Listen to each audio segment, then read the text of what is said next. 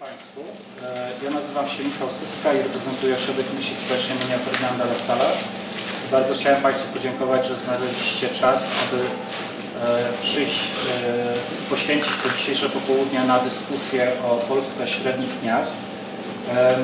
Dzisiejsze spotkanie jest częścią projektu realizowanego przez Ośrodek Myśli Społecznej imienia Ferdynanda Lasala oraz Fundację imienia Friedricha Eberta, czyli dwie, e, dwie instytucje, które starają się pobudzać intelektualną, e, intelektualną refleksję po lewej stronie e, sceny e, politycznej.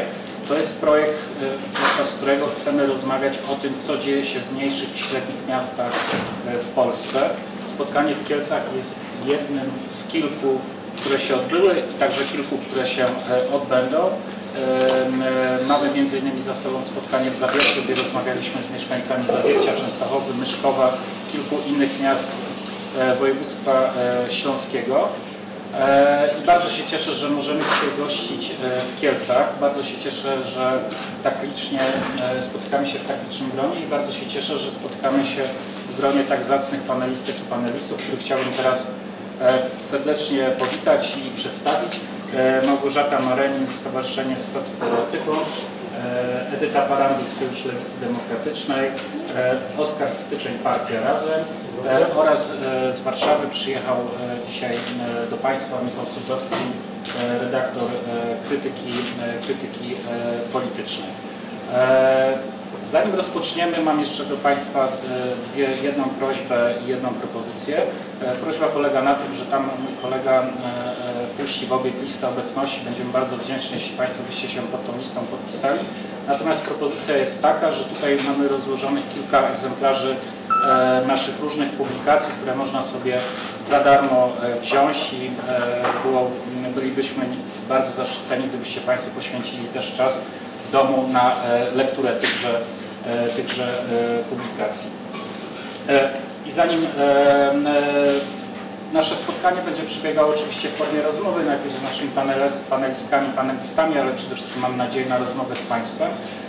I na początek krótkie wyjaśnienie, dlaczego uznaliśmy, że temat małych i średnich miast jest niezmiernie, niezmiernie istotny. Otóż wydaje się, że i to jest trend ogólność globalny, na pewno dostrzegalny w Europie, e, także w Polsce, ale także w Stanach Zjednoczonych, że w ostatniej dekadzie e, ugrupowania prawicowo-populistyczne zyskują bardzo silne poparcie właśnie w mniejszych bądź średnich ośrodkach e, miejskich, zwłaszcza tych miejscach, gdzie w wyniku procesów deindustrializacji następują takie znaczące zmiany demograficzne i społeczne e, i prawicowi populiści to wykorzystują. I obserwując kampanię wyborczą 2015 roku było e, bardzo widoczne, że e, Prawo i Sprawiedliwość silnie podkreślało w, swej, w swym przekazie politycznym konieczność zwrócenia się państwa w stronę mniejszych i średnich miast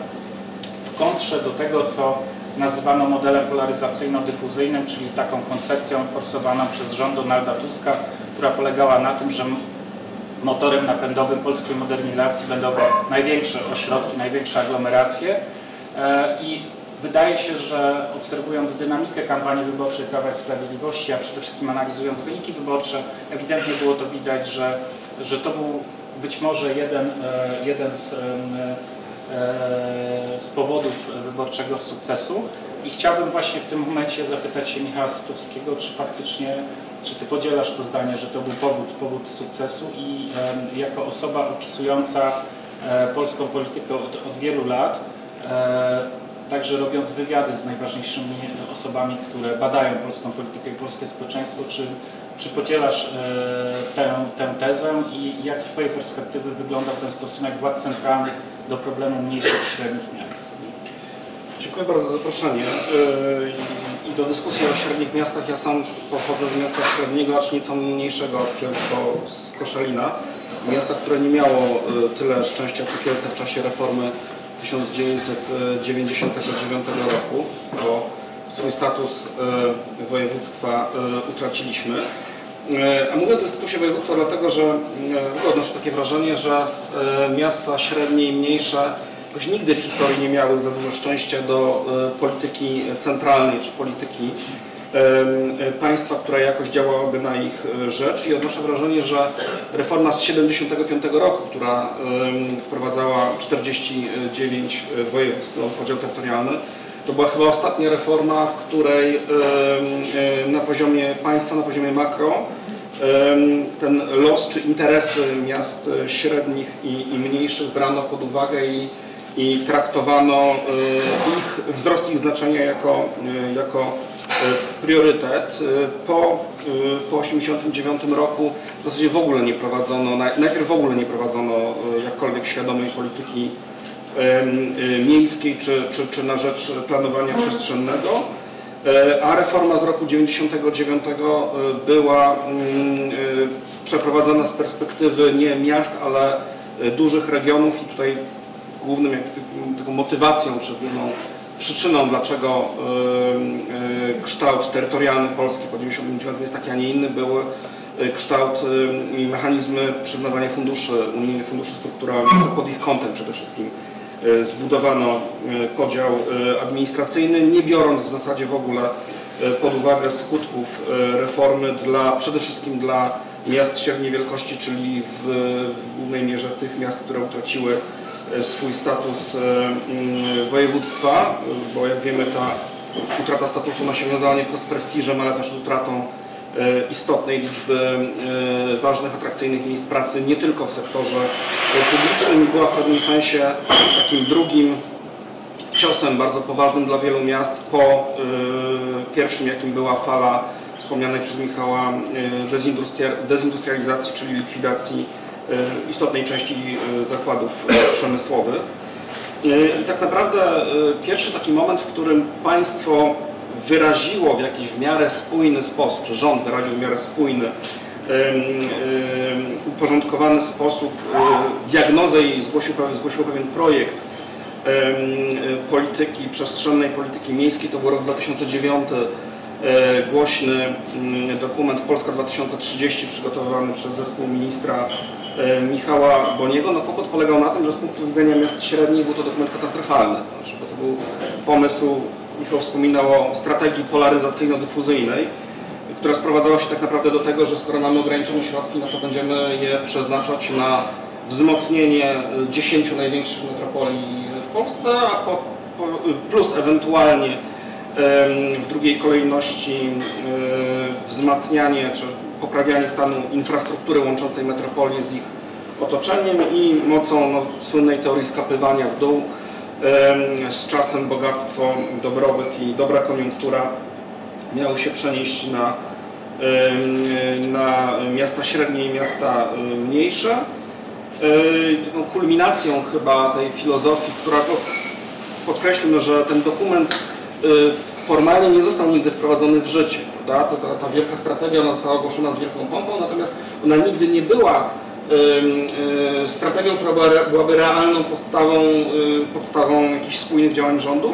Niemniej praktyka yy, i, i polityka chociażby yy, przeznaczania środków unijnych na inwestycje, praktyki inwestycyjne w dużej mierze się z tą, z tą koncepcją zbiegały. No i tutaj rok 2012 i euro, wybor, yy, nie wybory, tylko Mistrzostwa Europy. Oczywiście to jest jakaś kulminacja tej, tej, tej filozofii, tego podejścia do, y, do miast dużych, miast średnich, metropolii i, i reszty kraju.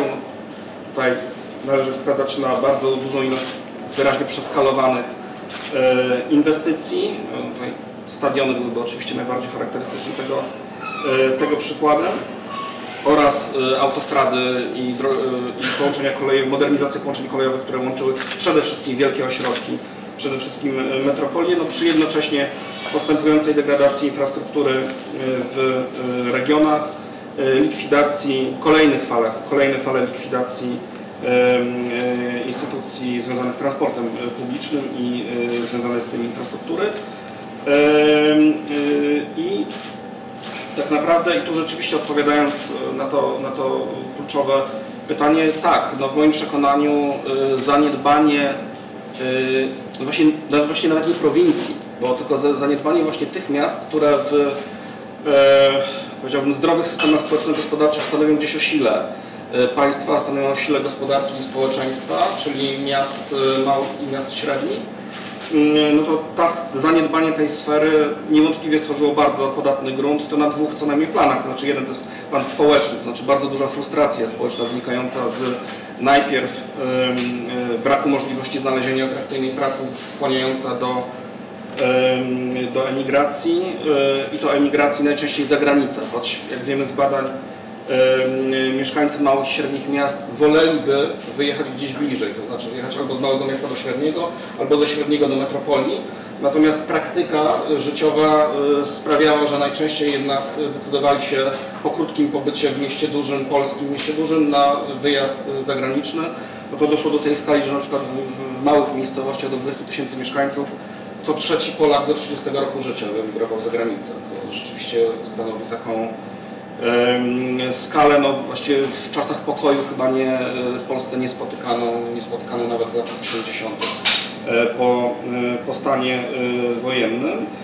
I tutaj mieliśmy do czynienia też z taką, taką dość ciekawą dynamiką, znaczy ciekawą, ciekawą z punktu widzenia badawczego, bo oczywiście dramatyczną dla, dla ludzi, którzy w tych średnich, małych, średnich miastach mieszkali. To znaczy Najpierw mamy do czynienia z wyjazdem przede wszystkim młodych ludzi za pracą do ośrodków większych i za granicę, po czym na ten tryb, co z kolei powoduje z jednej strony zmniejszenie wpływów y, podatkowych y, na poziomie lokalnym, trudności y, miast z utrzymaniem infrastruktury, łatane czy, czy, czy, czy zasilane gdzieś tylko, ratowane środkami z Unii, z Unii Europejskiej. I na to z kolei nakłada się drugi trend, znaczy trend ogólny trend demograficzny związany ze starzeniem społeczeństwa, który wzmocniony wyjazdem młodych ludzi powoduje, że małe i średnie miasta starzeją się jako, jako społeczności dużo szybciej niż, niż, metro, niż, niż miasta duże i, i metropolie. To, to jest takie zjawisko, no, które jeden z ciekawszych moim zdaniem e, badaczy czy komentatorów opisujących e, sytuację społeczną w Polsce, czyli Edwin Bendyk, nazwał taką spiralą śmierci, tak? to znaczy taką sytuacją, w której wyjazdy, zmniejszone wpływy podatkowe, pogorszenie stanu infrastruktury, dalsze wyjazdy z tym związane w związku z nie, nie, nie, nie, niezdolnością miast do, do stworzenia infrastruktury, która pozwoliłaby na życie na dobrym poziomie, do tego ogólne e, starzenie się społeczeństwa to wszystko powoduje postępującą degradację różnych miast, no i e, efektem tego jest e, właśnie zapaść demograficzna diagnozowana chociażby ostatnio był raport Polskiej Akademii Nauk, w którym e, wskazano na 122 miasta e, średnie w Polsce, którym grozi w ciągu najbliższych 30 lat zapaść demograficzną tego rzędu, że, niektóry, że w niektórych e, liczba ludności prawdopodobnie spadnie o połowę. Tak? Znaczy, takie miasta, które miały w latach 70. jakby tam 250 tysięcy mieszkańców, one mogą dojść do 80 tysięcy w roku 2000. 50, ale spadki po kilka, kilkanaście procent są, czy nawet 30-40 są sprawą w zasadzie, w zasadzie y, y, powszechną. No i teraz y, ostatnia rzecz, przechodząc do współczesności. Faktycznie Prawo i Sprawiedliwość w kampanii wyborczej bardzo dużo mówiło o potrzebach miast małych i średnich, i to mówiła bardzo dużo o zaniedbaniu prowincji, o tym podziale na Polskę A i Polskę B, który gdzieś tam, znaczy zdiagnozowany jak wiemy oryginalnie przez Eugeniusza Kwiatkowskiego już w 1932 roku, gdzieś tam reprodukował się przez, przez kolejne dekady i przez kolejne ustroje. Y, I oczywiście obiecywano y, radykalną zmianę polityki, w ogóle radykalną zmianę całej filozofii, w ogóle podejścia do, do metropolii, do miast średnich, czyli odejście od tego wspomnianego wyżej modelu polaryzacyjno-dyfuzyjnego na rzecz właśnie modelu bardziej zrównoważonego, czy tego, co Ministerstwo Rozwoju i minister Morawiecki, minister wówczas dziś premier nazywali rozwojem odpowiedzialnym. No kłopot chyba polega na tym, że tak naprawdę, jeśli pominąć bardzo istotny niewątpliwie transfer, jakim jest program Rodzina 500+, który niewątpliwie, to jest proste do zbadania statystycznie, był transferem z centrum na peryferię, od zamożniejszych do mniej zamożnych, z ośrodków dużych do ośrodków średnich i małych. Statystycznie to wychodzi dość prosto. Te pieniądze rzeczywiście przepłynęły w tych kierunkach, w tym sensie byłoby to jakoś zgodne z tymi, z tymi obietnicami, które Prawo i Sprawiedliwość złożyło. No natomiast jeśli chodzi o, o, o, inne wymiary tej polityki, to można mieć bardzo duże wątpliwości, czy coś, czy jakaś istotna zmiana E, podejścia e, nastąpiła. No i tutaj takim, mm, takim punktem, który dla mnie jest bardzo charakterystyczny, taką tezą i zapowiedzią, obietnicą, która jest bardzo charakterystyczna w tym względzie, jest obietnica e, przekształcenia Polski w jedną wielką specjalną strefę ekonomiczną. To jest zapowiedź mm, oficjalne, oficjalnie niedawna, a z rozmaitych dokumentów mniej, mniej upublicznianych wiemy, że to był sposób myślenia e, rządu o, o, o, o stymulowaniu inwestycji no, od samego w zasadzie e, początku. No i dowcip polega na tym, że o ile specjalne strefy ekonomiczne, czyli takie miejsca, gdzie e, wiele regulacji kodeksu pracy nie obowiązuje i przede wszystkim obowiązują bardzo daleko idące zwolnienia podatkowe dla przedsiębiorców, o ile ten pomysł moim przekonaniu był z piekła od samego początku, niemniej w latach 90. był on jakoś jeszcze zrozumiały w sytuacji, w której podstawowy dylemat brzmiał, czy będą w kontekście dezindustrializacji, czy będą jakiekolwiek miejsca pracy, czy żadne. Więc mamy masowe bezrobocie i w związku z tym yy, rządzące elity zastanawiają się, jak za wszelką cenę starają się yy, stworzyć czynniki czy bodźce, które zachęciłyby do tworzenia miejsc pracy. Rozmaite diagnozy, badania także Najwyższej Izby Kontroli wskazują, że to był pomysł nieudany, dlatego że te miejsca pracy okazały się bardzo kosztowne, a ubytek wpływów podatkowych e, także dla, dla poszczególnych regionów, poszczególnych miast był zdecydowanie no, nieadekwatny do tego, co się udało uzyskać czyli do tych stworzonych miejsc pracy. No niemniej, tak jak mówię, jestem jakoś w stanie zrozumieć taką logikę pod koniec lat 90., tak? czy jeszcze w roku 2002, 2003, 2004, kiedy no pamiętajmy, że Polska miała wtedy blisko 20% bezrobocia. Tak? To jest zupełnie, zupełnie inny kontekst społeczny. No dzisiaj mamy taki kontekst, że bezrobocie wynosi około 6%. Y, pracowników w zasadzie już w każdym sektorze y, brakuje gospodarki, E, rząd obecnie przygotowuje strategię zachęcania do imigracji do Polski pracowników czy to z Ukrainy, czy to e, pracowników z Azji Południowo-Wschodniej, których jak wiemy przyjmowano by najchętniej ze względu na stosunkowo najlepszy do nich stosunek e, społeczeństwa. No tak czy inaczej mamy do czynienia z sytuacją, w której nie stoimy przed wyzwaniem że musimy stworzyć jakiekolwiek miejsca pracy tu i teraz, prawda? Już, żeby były. Nie, nie potrzebujemy byle jakich miejsc pracy, potrzebujemy wysokiej jakości miejsc pracy, tak? To nie jest sytuacja z roku 2002-2003, a jednak rząd, mimo bardzo negatywnych um, opinii, ocen um, specjalnych stref ekonomicznych, które istnieją dotychczas, cały czas myśli o rozwoju w tych, w tych kategoriach. No i jakoś tak bym podsumował może, rzeczywiście rząd w, i, i, i obóz obecnie rządzący w kampanii wyborczej wyraźnie zrozumiał, że istnieje, poważne, istnieje duże zapotrzebowanie społeczne na to, żeby o y, polityce regionalnej, o polityce miejskiej myśleć inaczej niż dotychczas i myśleć inaczej niż Platforma Obywatelska. Y, w tym sensie oczywiście odpowiedziano jakoś na, na postulaty i obywateli, i na rosnący, czy, czy rosnących w siłę od wielu lat e, ruchów miejskich czy różnych form organizacji e, obywateli w miastach.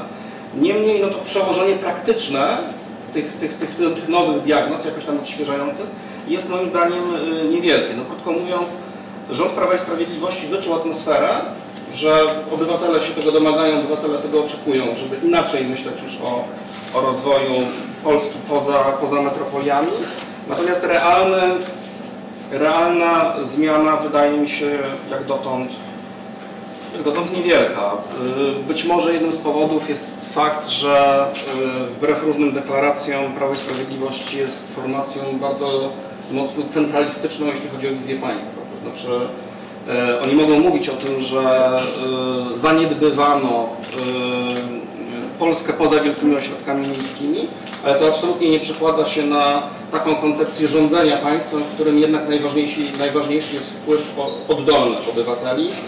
I to, to, co się tam, to, co się od lat nazywa zasadą subsydiarności, czyli założenie, że e, władza powinna być, władza powinna być budowana oddolnie, to znaczy, że tak wiele kompetencji, jak to tylko możliwe, e, powinno być jak najbliżej obywatela, jak najbliżej poziomu lokalnego, no to nie jest e, koncepcja zbieżna z tym, jak, jak o rządzeniu Polską myśli, e, myśli Jarosław Kaczyński jako no, przekonany i konsekwentny centralista i zwolennik e, silnej, silnej władzy z Warszawy nad ośrodkami. E, Dzięki Michale. E, Jeszcze później zapytam Cię o, o to, jak Ty byś wyobrażał sobie alternatywę, ale chciałbym teraz już oddać e, głos przedstawicielom, przedstawicielom środowiska lokalnego, e, bo chciałbym skonfrontować to, co powiedział Michał z Waszym doświadczeniem, znaczy doświadczeniem mieszkanek, mieszkańców tego regionu, tego miasta, ale także aktywistek i aktywistów politycznych. E, ponieważ Michał wymienił tu kilka problemów, między innymi związanych z wyludnianiem się. Wiemy, że Kielce i w ogóle województwo świętokrzyskie także zmaga się z tym dylematem. E, Jak Wy byście schierarchi- schierarchizowali problemy średniego miasta na przykładzie Kielc i ewentualnie e, jakie widzielibyście e, takie progresywne odpowiedzi na, na, na te problemy? Może zaczął od Ciebie. Przyznam szczerze, że wszystko to, co powiedział mój przedmówca, genialnie pasuje do miasta Kielce. E, W zasadzie można powiedzieć, że jest to pewnego rodzaju e, region oraz miasto, które e, te wszystkie problemy, o których były tutaj infrastruktura, jeśli chodzi o e, również e, wyludnianie, czy prognozy, które zostały przedstawione, wpasowują się właśnie. E, 2015 rok żeby nie rozgadywać się za bardzo, 2015 rok i porównanie z 2017 rokiem. W międzyczasie ubyło 10 tysięcy osób. 10 tysięcy. Dzisiaj szacuje się, że jest nas w Kielcach e, ponad 180 tysięcy. No tylko, że niestety w ostatnim czasie przeprowadzane były e, spisy, ile osób e, płaci za, e, za wywóz śmieci. Okazuje się, że nagle jest 160 tysięcy i nie wiadomo, gdzie było te 20. No my możemy jedynie podejrzewać, gdzie było te 20 tysięcy. Jedni to ci nieliczni, którzy uciekają poza peryferię miasta, ponieważ e, prawda jest taka, że Kielce nie stwarzają warunków godnych do tego, aby e, chociażby tutaj godnie mieszkać, tak? Ja mówię o budownictwie w szczególności. O wiele lepszą infrastrukturę pod tym względem mają e, ościenne, mniejsze, o wiele mniejsze numery. Ale gro tych osób tak samo, w szczególności osoby młode i w szczególności osoby, które kończą studia, wyjeżdżają po prostu za pracą do większych ośrodków, a również za granicę. Także e, te wszystkie obawy, że takie miasta jak Kielce, takie miasta e, mniejsze, mniejsze ośrodki za te 10, 20, 30 lat e, skurczą się o połowę, wydają się być chociażby na tym przykładzie jak najbardziej aktualne. I przyznam szczerze, z jednej strony to przeraża, ponieważ kiedy rozmawialiśmy na ten temat 2 lata, 3, 4 czy 5 lat do tyłu, nigdy nie sądziliśmy, że ten proces będzie następował tak szybko. Owszem, prognozy były, że za ileś tam lat będzie następować 50 tysięcy, 30 tysięcy i tak dalej, ale to było w perspektywie jakichś 20-30 lat. A w ciągu raptem, e, tak jak wcześniej powiedziałam, mamy w ciągu raptem dwóch lat e, zmniejszenie się mieszkańców miasta o 10 tysięcy, tak? E, To prawda, w kolejnych latach porównując do 2017 do 2018 jest to tam 1000 osób powiedzmy, ale też nie czarujmy się, e, nigdy nie wiadomo co będzie za rok, za dwa, za trzy, jeśli chodzi o poziom gospodarczy zarówno tego miasta, jak i sytuację polityczną, gospodarczą w kraju. Bo to też wszystko ma znaczenie, w szczególności właśnie dla takich małych miast jak Kielce. Ogólnie rzecz biorąc dla tych miast, które mają poniżej albo są w okolicach 200-250 tysięcy mieszkańców. Druga bardzo istotna rzecz, na którą ja w szczególności bardzo często zwracam uwagę w różnego rodzaju komentarzach, to jest właśnie problem infrastruktury.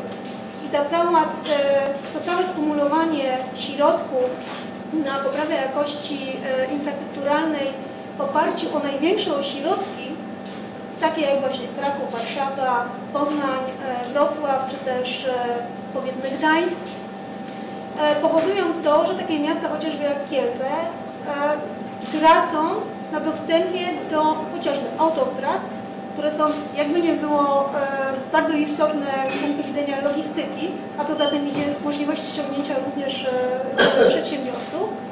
E, Wspomnę tutaj chociażby e, problem e, chociażby S7, tak?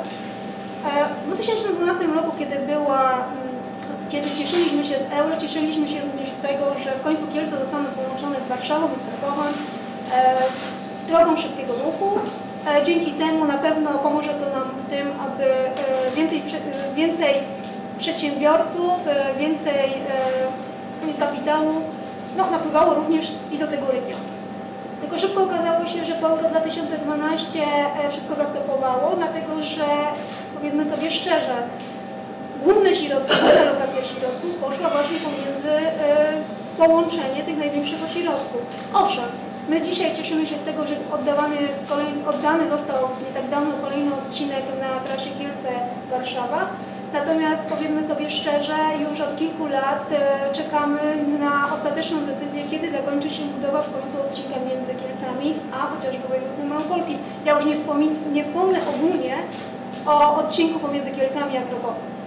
Bo tam, zresztą rozmawialiśmy wcześniej też na ten temat, e, no, przynajmniej na tą chwilę nie widać, żeby e, takie konkretne prace e, zakończyły się w jakimś e, najbliższym czasie, pięciu chociażby lat, tak? biorąc pod uwagę ile był robiony odcinek, ile jest robiony ten odcinek nasz tutaj kielecko, kielecki i do m, granic naszego województwa, to możemy tak szczerze mówiąc obawiać się nawet i tego, że w perspektywie kolejnych 10 lat może taki odcinek nie powstać, a to jest bardzo istotna kwestia. E, Tak samo jeśli chodzi o drogę krajową S74. To jest największa bolączka tego regionu, ponieważ e, ta droga łącząca wschód, zachód naszego województwa de facto łączy nas z największymi autostradami. Przez Łódź, tudzież przez Lublin. E, I to też ten węzeł północ-południe, który powstał dzięki właśnie powstaniu prawdziwego zdarzenia S7 i S74, pomógłby de facto również gospodarczo naszemu regionowi, przynajmniej ja wyrażam taką opinię. E, Do tego jeszcze też, to, to było mówione e, wcześniej, kolej. Nie czarujmy się. E, Ten problem będzie istniał cały czas, bo jeżeli my mamy dzisiaj taką sytuację, że chociażby ten plan tak, do 2030 roku, o którym mówiłeś, zakłada, że największe metropolie będą połączone koleją prędkości 220 km na godzinę. Tak, a jeśli chodzi o Kielce, to z Radomiem będzie połączony 140 km na godzinę, Radom z Warszawą 160 km na godzinę. Jeśli chodzi o Kraków, to krótki odcinek tylko gdzieś tam w Małopolsce do Czarnku będzie 220, a reszta 140. Nie czarujmy się, jeżeli mamy osoby, które chcą zainwestować i które, y, którym zależy na tym, nawet nie tylko zainwestować, to my mówimy również o osobach, które mogłyby tutaj na przykład przyjść studiować, tak? I jeżeli mamy osoby, które chciały tutaj przyjść studiować, czy też e, wprowadzić swoje interesy, no to one też patrzą na to, jak szybko ja jestem w stanie poruszać się pomiędzy na przykład centralnymi ośrodkami, takimi jak Warszawa, Kraków, Poznań, a Kielcami. Także to jest e, naprawdę poważny, e, pro, poważny problem, jeśli chodzi o tą infrastrukturę. I jeśli chodzi właśnie o tą, e, to skupianie się na lokowaniu tych wszystkich środków infrastrukturalnych e, w oparciu tylko i wyłącznie o duże metropolie. Tutaj też była mowa o tym, że mm, chodziło między innymi, chodziło między innymi o to, że e, mniejsze ośrodki mogą stracić na znaczeniu nie tylko i wyłącznie jeśli chodzi o, o gospo- go- gospodarkę jako taką. Mówiłeś również o tym, że PiSowi wcale nie należy de facto, bo to innego jest kampania wyborcza, a to innego jest, e, są realia, że PiSowi nie zależy za bardzo na tym, aby mm, tak naprawdę no, oddolnie prowadzić, e, od, oddolnie, że tak powiem, e, rozwijać Polskę, tak, w oparciu o te mniejsze, o te mniejsze miasta. Za chwilę możemy obudzić się w rzeczywistości, w której mniejsze ośrodki akademickie, a w szczególności e, e, szkoły prywatne, mogą tak naprawdę e, w takich miastach jak nasze w szczególności doprowadzić do tego, że szkolnictwo w takich ośrodkach jak Uniwersytet e, Jana Kochanowskiego, czy też w naszych prywatnych szkołach, tak jak chociażby dawniej Wyższa Szkoła Handlowa, każdy mniej więcej, każdy powinien znać ją pod tą nazwą, ale dzisiaj nazywa- się e, Wyższa, Sz- e, przepraszam, e, SAN, e, czyli e, tak jest, przepraszam bardzo, i Społeczna Akademia Nauk. E, I chodzi tutaj o jakość kształcenia te szkoły za chwilę, dzięki temu, że e, Gowin również skupia się na wsparciu głównych ośrodków akademickich, on nawet wprost mówi, że chciałby stworzyć taką elitę elit. E, 10 około e, k- ośrodków akademickich, które mają konkurować z Europą.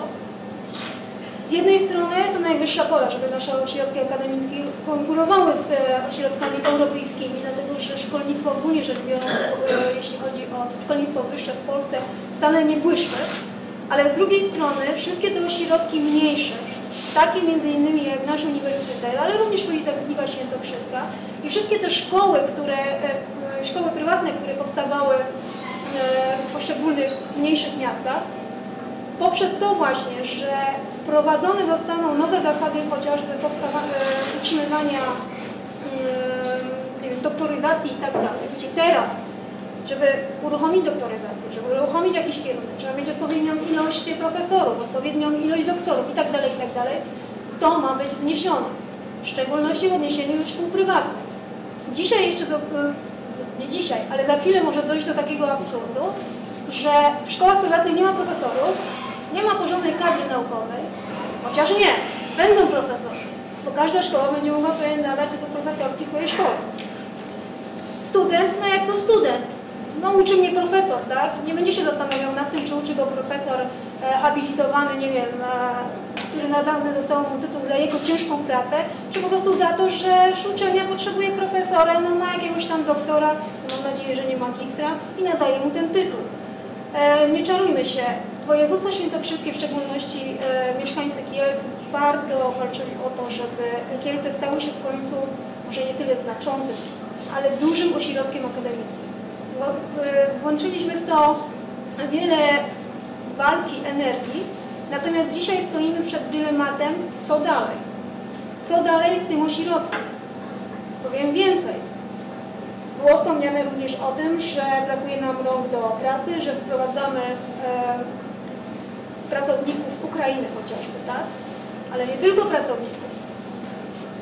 Przez to, że takie województwa jak województwo świętokrzyskie, czy miasto Kielce się wyludnia, również uczelnie tracą swoich potencjalnych studentów.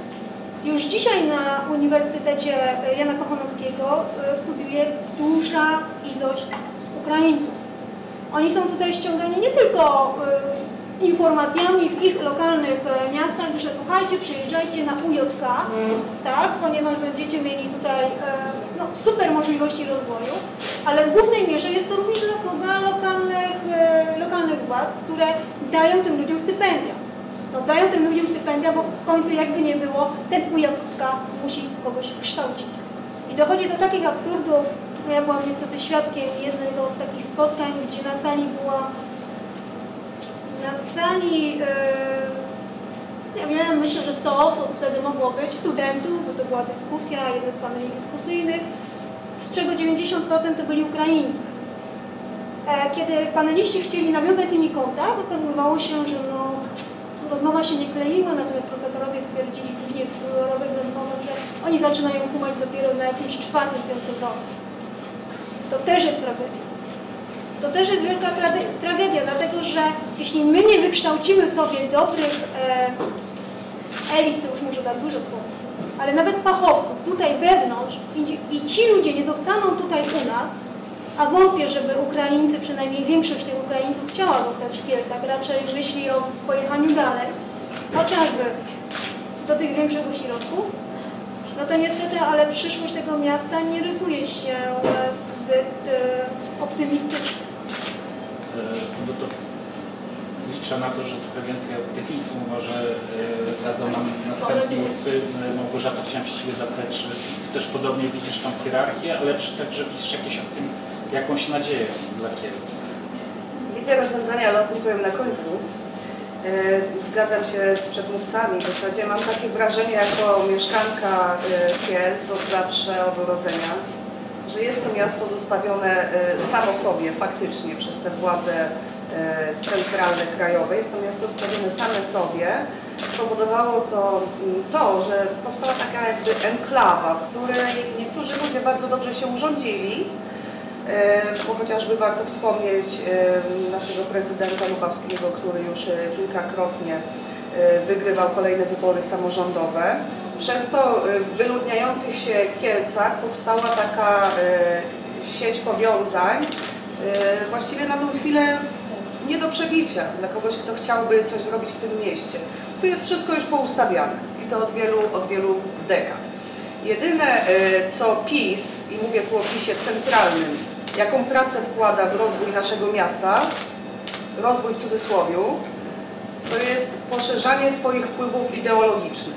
Bo odkąd PiS e, przejął władzę e, w kraju, no to Kielce zrobiły się już e, bardzo takie, mogłabym powiedzieć, bigoteryjne Czyli zmienił nam się statut, statut miejski, nadano tutaj patronat, matronat bym powiedziała, Matce Boskiej nad Kielcami. I bardzo ważna rzecz, o którą później rozwinę, przede wszystkim usunięto nam możliwość składania e, jako obywatele, obywatelki Kielc e, inicjatyw uchwałodawczych w Radzie Miasta. I to jest jedna z przyczyn, e, dlaczego grupy lokalne, które gdzieś tam mają pomysł na rozwój swojego kawałka dzielnicy i chciałyby coś zmienić, są już z gruntu traktowane przez nasze kieleckie władze jako wrogowie władzy. Spróbujcie Państwo iść kiedyś z pomysłem na Radę Miasta. Ja byłam kilkakrotnie, byłam wyprowadzona przez straż yy, w urzędzie, ponieważ z, gruntu jest się widzianym jako ktoś, kto chce wytknąć władzy coś, że jest źle yy, i jest się od razu wrogiem. Więc yy, generalnie w moim odczuciu, ponieważ tu mieszkam, kocham to miasto i będę zawsze tutaj mieszkać, ale jednak uważam, że jest to miasto, które na chwilę obecną nie jest ani miastem e, do pracy, gdzie można się dorabiać, zarabiać, e, żyć po prostu na poziomie e, i w bezpieczeństwie e, jakimś takim socjalnym i nie jest to jednocześnie miasto do życia. Czyli jest to największy problem, bo jesteśmy na takim właściwie marginesie.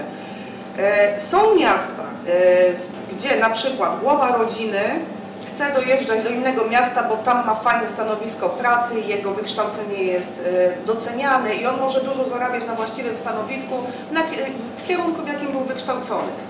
E, Ale rodzina na przykład mieszka w mieście, które lubi, e, w którym fajnie funkcjonuje cała rodzina, dzieci, powiedzmy, no, generalnie cała rodzina, te więzy nie są zrywane rodzinne, tak?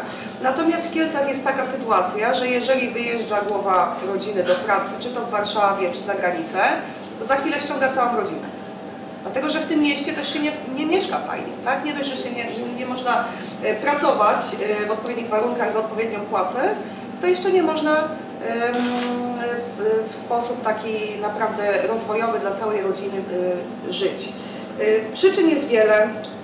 Jest to między innymi też, e, tu trzeba by długo mówić o tym, ale na przykład chaotyczna zabudowa miasta, coraz mniej parkingów. Zauważcie Państwo, że e, przedszkola, obecnie przedszkola w Kielcach, przynajmniej większość, którą obserwuję, znajdują się w otoczeniu bardzo ruchliwych ulic. Tam nawet nie ma gdzie zaparkować. To są miejsca niebezpieczne wręcz.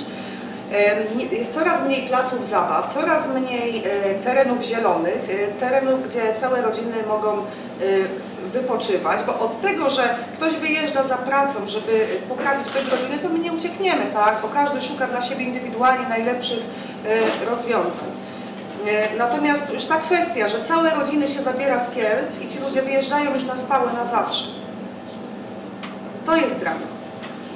E, I jak mówię o tej zabudowie chaotycznej, nawet rozmawiałam przed chwilą z radnym miejskim Marcinem Chłodnickim, o planie zagospodarowania przestrzennego w Kielcach, ponieważ ja dotarłam mm, do danych z roku 2013, ale po rozmowie z panem radnym y, otrzymałam informację, że niewiele się w tej kwestii zmieniło. My byliśmy właściwie mm, na samym końcu wśród wszystkich polskich miast, jeśli chodzi o obszar Kielc objęty planem zagospodarowania.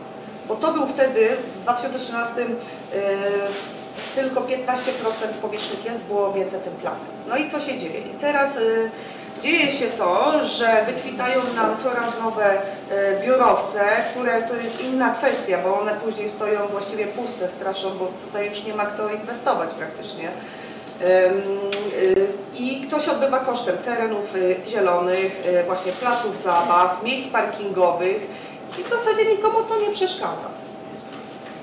Mówię o władzach kieleckich, tak? Czyli jest coraz mniej przestrzeni do zdrowego życia rodzinnego, do uprawiania sportu, do rekreacji. Poza tym no, problem smogu to już też jest jeszcze inna sprawa. Yy, Faktycznie jest yy, nie- niezdrowe powietrze i myślę, że tutaj może już ktoś następny po mnie, bo nie chciałem wszystkich tematów omówić. I co? I przechodzę do najwa- najważniejszej według mnie kwestii. Brak inicjatywy obywatelskiej. Została ona usunięta z statutu Rady Miasta, to znaczy odebrano obywatelom i obywatelkom właściwie ostatnią możliwość zgłaszania projektów obywatelskich, pod którym mm, uchwałodawczym, pod którym można by zbierać podpisy i forsować jakieś zmiany w Kielcach. Tego nie ma od jakiegoś czasu. Yy, Inne możliwości, jakie nam zostały, to ewentualnie jakieś drogie, droga petycji, ale sami wiemy i ja wiem z doświadczenia, że sprawy, które próbujemy przedstawiać na Radzie Miasta, albo nie otrzymujemy odpowiedzi, jeśli wyślemy wcześniej zapytanie, czy możemy zabrać głos, więc to jest kompletnie przemilczane, nie otrzymujemy odpowiedzi. Ewentualnie, jeżeli przyjdziemy, że tak powiem, z marszu z jakąś sprawą obywatelską, to już Niestety, ale władza y, patrzy na nas jako na wrogów, którzy przyszli coś tam y, wykłócać się o swoje. To jest podstawowy błąd, dlatego że uważam, że są zachwiane proporcje. Władza nie jest od tego, żebyśmy my się przed nimi kłaniali y, i milczeli i nie zgłaszali swoich inicjatyw, mimo że wiemy, że najlepiej wiemy, co chcemy zmienić w naszym mieście, tak? W mieście, dzielnicy, osiedlu czy na własnej ulicy. E, Władza jest od tego, i to trzeba uświadomić e, obecnej władzy, że ma nam służyć. Ma służyć mieszkańcom Kielc, dlatego że mieszkańcy Kielc najlepiej wiedzą, co zmienić, żeby im się żyło lepiej. Jeżeli im się będzie żyło lepiej, będą mieli odpowiednią e, przestrzeń e, do życia, to wtedy nie będą mieli e, jakby może aż tylu powodów, żeby to miasto na stałe e, odpuszczać. Tak, Pan mówił o oddolnej inicjatywie. No w Kielcach ona nie istnieje. Na tą chwilę nie istnieje e, i nie wiem w jaki sposób należałoby to rozwiązać.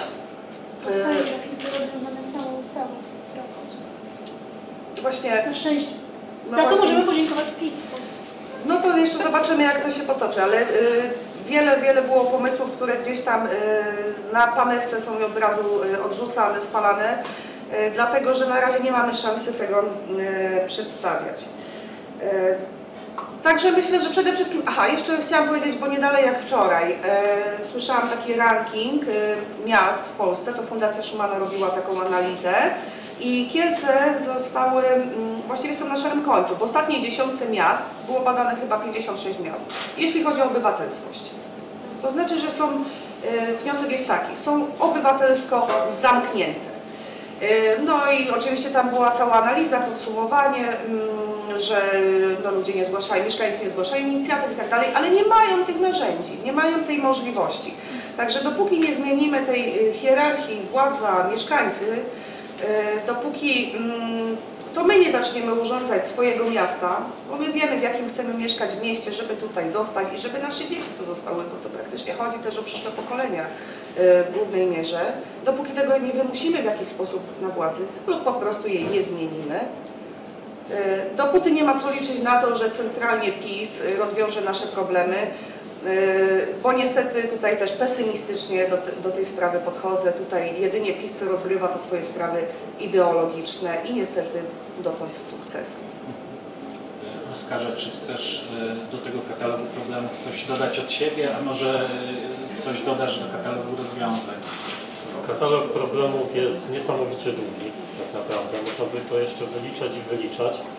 Chciałbym się odnieść do tego, że powiedziałeś Michale, że Kielce miały to szczęście, że utrzymały status miasta wojewódzkiego i po części oczywiście tak jest, bo nie został wy- wybrany ten wariant 12-13 województw, tylko 16. Załapaliśmy się na ten status miasta wojewódzkiego, tylko to wydaje się w dużej mierze uśpiło władze regionu i stolicy województwa. Stolica, która powinna kreować e, też w pewien sposób politykę regionalną tak naprawdę, włączać się w to, być bardzo aktywną, w Kielcach w zasadzie nie wykazuje żadnych takich funkcji, a co chciałbym powiedzieć, że władze regionu i miasta wzięły te decyzje z 99-98, która weszła w życie w 99, jakby daną raz na zawsze. E, Przestano brać pod uwagę to, że województwo się wyludnia i Kielce się wyludniają. Jeśli przyjdzie kiedyś pomysł władzy centralnej o wróceniu do reformy administracyjnej, to jest bardzo duże niebezpieczeństwo, że jednak odwróci się ta dobra karta i Kielce stracą ten status. Bo nikt się nie będzie liczył ze 150 tysiącami mieszkańców miasta wojewódzkiego z jednej strony, to będzie za mały elektorat, będzie to bardzo sprawnie możliwe do wyjaśnienia, że włączamy te tereny do innego województwa, ale nie będzie też żadnego innego głosu z miast powiatowych tego województwa, ponieważ na tę chwilę nie ma w zasadzie współpracy z Ostrowcem, Starachowicami, Skarżyskiem, Włoszczową, Buskiem, Jędrzejowem. Te miasta sobie tam funkcjonują same, Kielce funkcjonują same.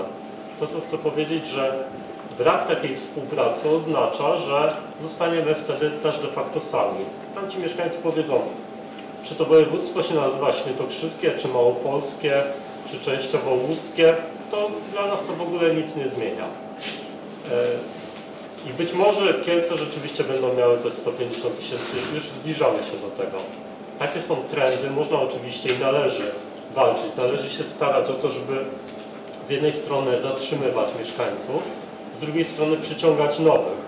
Bo wiadomo, że mieszkańcy miast powiatowych województwa w pierwszym kroku mogą decydować się na to, żeby przyjechać właśnie do Kielc. To jest ten naturalny ruch z y, prowincji do średniego miasta, ewentualnie ze średniego do większego. Co my musimy robić? To starać się tych ludzi tutaj zatrzymać, żeby nie podjęli tej następnej wędrówki do dużego miasta, a potem za granicę. Jeśli stracilibyśmy uniwersytet, a o tym wspominało Biuro Legislacyjne Sejmu, ostrzegało przed tym, no to mamy już kolejny argument do tego, żeby zwijać tutaj wszystko tak naprawdę. E, wiadomo, że w przeciągu kilku lat nie można stworzyć e, światowej rangi uczelni wyższej. To jest niemożliwe i nikt tego nie zrobił tak naprawdę od setek lat. Ale jeśli już to mamy, to trzeba dbać o to, żeby to rozwijać i wspierać, żeby ten prestiż stopniowo budować, ale na pewno tego nie likwidować. I to jest wbrew pozorom ogromna różnica, czy to się będzie nazywało uniwersytet, czy akademia. Tak dla tych mieszkańców, tak na przykład dla Ukraińców, którzy są tutaj ściągani i myślę, że po części słusznie, bo część z nich jednak zdecyduje się tutaj zostać. To będą ci, którzy się dobrze zasymilują i postanowią, postanowią związać się z tym miastem. Ok, ale jeśli będą mieli do wyboru akademię, jakąś akademię, która będzie oznaczała, że to jest niższa ranga, a uniwersytet w Krakowie, w Wrocławiu, to prawdopodobnie jednak wybiorą tamtą uczelnię, które potem przełożą się też na lepszy start w życie i to samo będzie dotyczyło nie tylko osób z zagranicy, ale to samo i mieszkańców naszego regionu. Mieszkańcy Jędrzejowa, Buska, młodzi, licealiści, oni prędzej wybiorą wtedy Wrocław, prędzej wybiorą Kraków, nie będą raczej patrzyli na Kielce, a jeśli już, to Kielce będą widziane jako ewentualnie wybór tych ludzi, którym się nie udało. Infrastruktura jest na pewno bardzo ważna. Tylko, że w naszym mieście patrzy się na to jeszcze z wizją lat 60., może 70. i przykładem jest dzielenie miasta przez drogę ekspresową, która ma przebiegać przez jego środek, co zdecydowanie wpłynie na jakość życia w mieście. E, Możemy mieć mieszkańców mniej, ale starajmy się przyciągać ich tutaj i zatrzymywać właśnie jakością życia. Jeśli mamy dworzec kolejowy, który zupełnie nie przystaje do realiów XXI wieku, nie chodzi tutaj o połączenia kolejowe, chodzi o to, jak on jest włączony w tkankę miejską. Jest zupełnie oddzielony przez arterie drogowe. Kiedy przeprowadziliśmy tam jako partia razem konsultacje na ulicy Sienkiewicza, właśnie koło dworca, to ludzie zdecydowanie podpisywali się pod tym, że jest oddzielony dla osób niepełnosprawnych, dla podróżnych, zwykłych podróżnych z dużą walizką. Musi naprawdę przemierzyć chyba kilometr więcej po to, żeby uniknąć schodów, dźwigania tego wszystkiego. Nie zatrzymaliśmy się na tym tylko, żeby zapytać ludzi. Poszliśmy do urzędu z naszą propozycją, że trzeba wybudować tam pochylnię przy okazji remontu dworca, trzeba zrobić windy dla niepełnosprawnych, trzeba zrobić przejście dla pieszych naziemne, które będzie oznaczało, że ci, którym tak łatwo w życiu nie jest, że podjeżdżają samochodem pod dworzec, a muszą się do niego dostać, są od niego oddzieleni. Przedstawiliśmy to e, w Miejskim Zarządzie Dróg. Co się stało?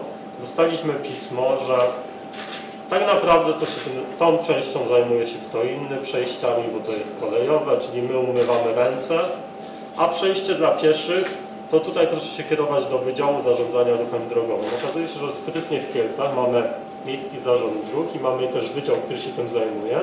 Czyli jak prezentujemy postulat do jednej instytucji, to ona nas odsyła do drugiej, a jak pójdziemy do tej drugiej, to oni powiedzą, że to ta pierwsza będzie decydowała w tej kwestii. Czyli każda, nawet pojawiająca się oddolna jakaś inicjatywa może być sprytnie utrącona, a prezydent miasta zamiast zająć się takimi naprawdę elementarnymi rzeczami, które wpływają na jakość życia w mieście, czyli te tereny sportowe, tereny zielone, przejścia dla pieszych i usprawnienia dla niepełnosprawnych, przyjęcie tej inicjatywy uchwałodawczej, która na pewno by wpłynęła niesamowicie pozytywnie na włączanie się ludzi w życie, wybrał sobie wątek wielkich przedsięwzięć, które okazały się w ogóle utopijne, nie, niemożliwe do realizacji, a jeśli by się okazały, że zostaną zrealizowane, to byłyby po prostu kamieniem uwiązanym u szyi miasta. Mówię tutaj o wielkim projekcie lotniska, które miało nas połączyć z Europą, ze światem. Kiedy okazało się, że Unia Europejska otrzeźwiała na przykładzie innych miast nie chce prowadzić takiej polityki, że będziemy w każdym regionie koniecznie budowali lotnisko, to prezydent miasta jakby chcąc robić dobrą minę za złej wydech, chwycił się brzytwy i zaczął lobbować nad budowaniem 20 km na południe od Kiel centralnego portu lotniczego dla całego kraju. Oczywiście okazało się, że to w ministerstwie są ludzie, którzy myślą trzeźwo i patrzą trzeźwo i nic takiego nie miało racji bytu, ale jakby wpisuje się w to, że jeśli jest brak pomysłów na lokalne rozwiązania i potrafi się tylko zrzucać odpowiedzialność na przykład na Generalną Dyrekcję Dróg, żeby poprowadzić drogę ekspresową przez miasto, bo my nie chcemy utrzymywać tej drogi jako miejskiej. Jeśli nie ma się pomysłu na lobbowanie za dobrymi połączeniami kolejowymi, które usprawnią nasze podróże do większych miast, nie oszukujmy się, że Kielce są tym średniakiem i potrzebujemy dobrej łączności też z centrami administracyjnymi kraju, to zamiast lobbować za tymi rozwiązaniami, to tworzy się miraże, którymi wygrywa się de facto kolejne wybory niestety. Jeśli nie ma pomysłu na to, jak zagospodarować tereny sportowe w mieście, które katastrofalnie niszczeją, na przykład klub Tęcza przy Zalewie, proszę się tam przespacerować, to są od chyba blisko 10 lat puste niecki basenowe, od których odrywają się kafle i wszystko tam zarasta ale za to tworzy się stadion i pompuje się miliony złotych w klub w ekstraklasie, który i tak jakoś powinien dawać sobie radę, ale tak naprawdę wyciąga rękę do miasta i skoro otrzymuje pieniądze, no to jak ich za to ganić, kiedy miasto i tak nawet potem nie potrafi rozliczyć porządnie tych pieniędzy. Więc patrzymy bardzo wysoko i zadowoliliśmy się statusem miasta wojewódzkiego, a tak naprawdę małe rzeczy, od których zależy jakość życia w tym mieście, leżą i w zasadzie prezydent, który porusza się po mieście coraz to nową limuzyną, no nie zauważa ich, tak samo jego urzędnicy. Dziękuję bardzo. Ja Ci Michał oddam do podsumowania głos i wszystkim Wam jeszcze oddam głos, ale chciałem Państwa także zachęcić do włączenia się do rozmowy, bo tutaj e, i takie pytanie właściwie zadać także i Państwu. E, bo powiedziałeś, że wy- wybory wygrywa się właśnie obietnicami dotyczącymi wielkich i niekoniecznie potrzebnych inwestycji, ale czy jest możliwe, żeby wygrać wybory e, właśnie obiecując kwestie bardzo praktyczne, wpływające na jakość życia mieszkańców i e, zachęcam Państwa także do komentarzy, do polemik, do pytań. Przemek, bardzo proszę i potem Pan. Powiem szczerze, że bardzo mi się podobało Twoje No wystąpienie. tak. Że krytyka polityczna patrzy zawsze krytycznym okiem i to się bardzo ładnie pokrywało z tymi naszymi chińskimi problemami. Natomiast było takich parę, parę rzeczy, które mi się nasunęły po tym, jak nasze koleżanki kolega wypowiadali się na temat Kielc, jakości życia w Kielcach. Ja uważam, że ta strategia PiSu, czyli centralnego państwa, ona jest bardzo dobrze przemyślana, jeśli chodzi o wpływy polityczne tych mniejszych miejscowościach. My mieliśmy tu przykład takiego posła Gosiewskiego. Poseł Gosiewski jechał do Warszawy, ponieważ był w rządzie e, wicepremierem. E, przywoził do Kielc informację, że rząd PiS wybuduje drogę taką a taką. I to był sukces PiSu. Natomiast gdyby ta inicjatywa była oddolna, gdyby ona wychodziła z samorządu, no to by była jakaś rozłożona ta, rozłożona ta zasługa na lokalne siły polityczne. Natomiast PiS w ten sposób poprzez budowanie państwa centralnego kreuje się też jako tego dobrodzieja, od którego wolnej łaski zależy to, czy dany ośrodek miejski będzie się rozwijał, czy się rozwijał nie będzie. Oczywiście w tej polityce PiSu obecnej nie widać wsparcia dla tych małych ośrodków. Poza tym wsparciem takim moralnym. No to też trzeba zwrócić na to uwagę, że PiS był jedyną partią, która wyszła do ludzi i powiedziała, że nie, my nie będziemy patrzeć przychylnie na Warszawę, Wrocław, Poznań, Kraków, my będziemy patrzeć przychylnie na Sochaczew, Kielce, e, Zamość i tak dalej, i tak dalej, tak dalej. A ponieważ ci politycy PiSu, którzy mają wpływ rzeczywiście na decydowanie o środkach centralnych, e, starają się dla każdej z tych miejscowości, z której pochodzą, coś uczknąć. Tak jak e, powiedzmy w Piotrkowie Trybunalskim mamy posła Macierewicza, tak? Cała Polska się z niego śmieje, a w Piotrkowie go chwalą, bo dzięki niemu spłynęły środki na budowę dróg, wokół których powstały centra logistyczne. E, Mieliśmy tutaj przykład posła Gosiewskiego. Mamy tego przykład, e, który też przechodzi niżej, czyli na przykład na marszałka naszego województwa Jarubasa, który pochodzi z regionu Solca. Nagle Solec stał się wielkim ośrodkiem turystyczno-rehabilitacyjnym. Tam są pompowane pieniądze e, z Unii Europejskiej w e, inwestycje związane z rozwojem tego regionu.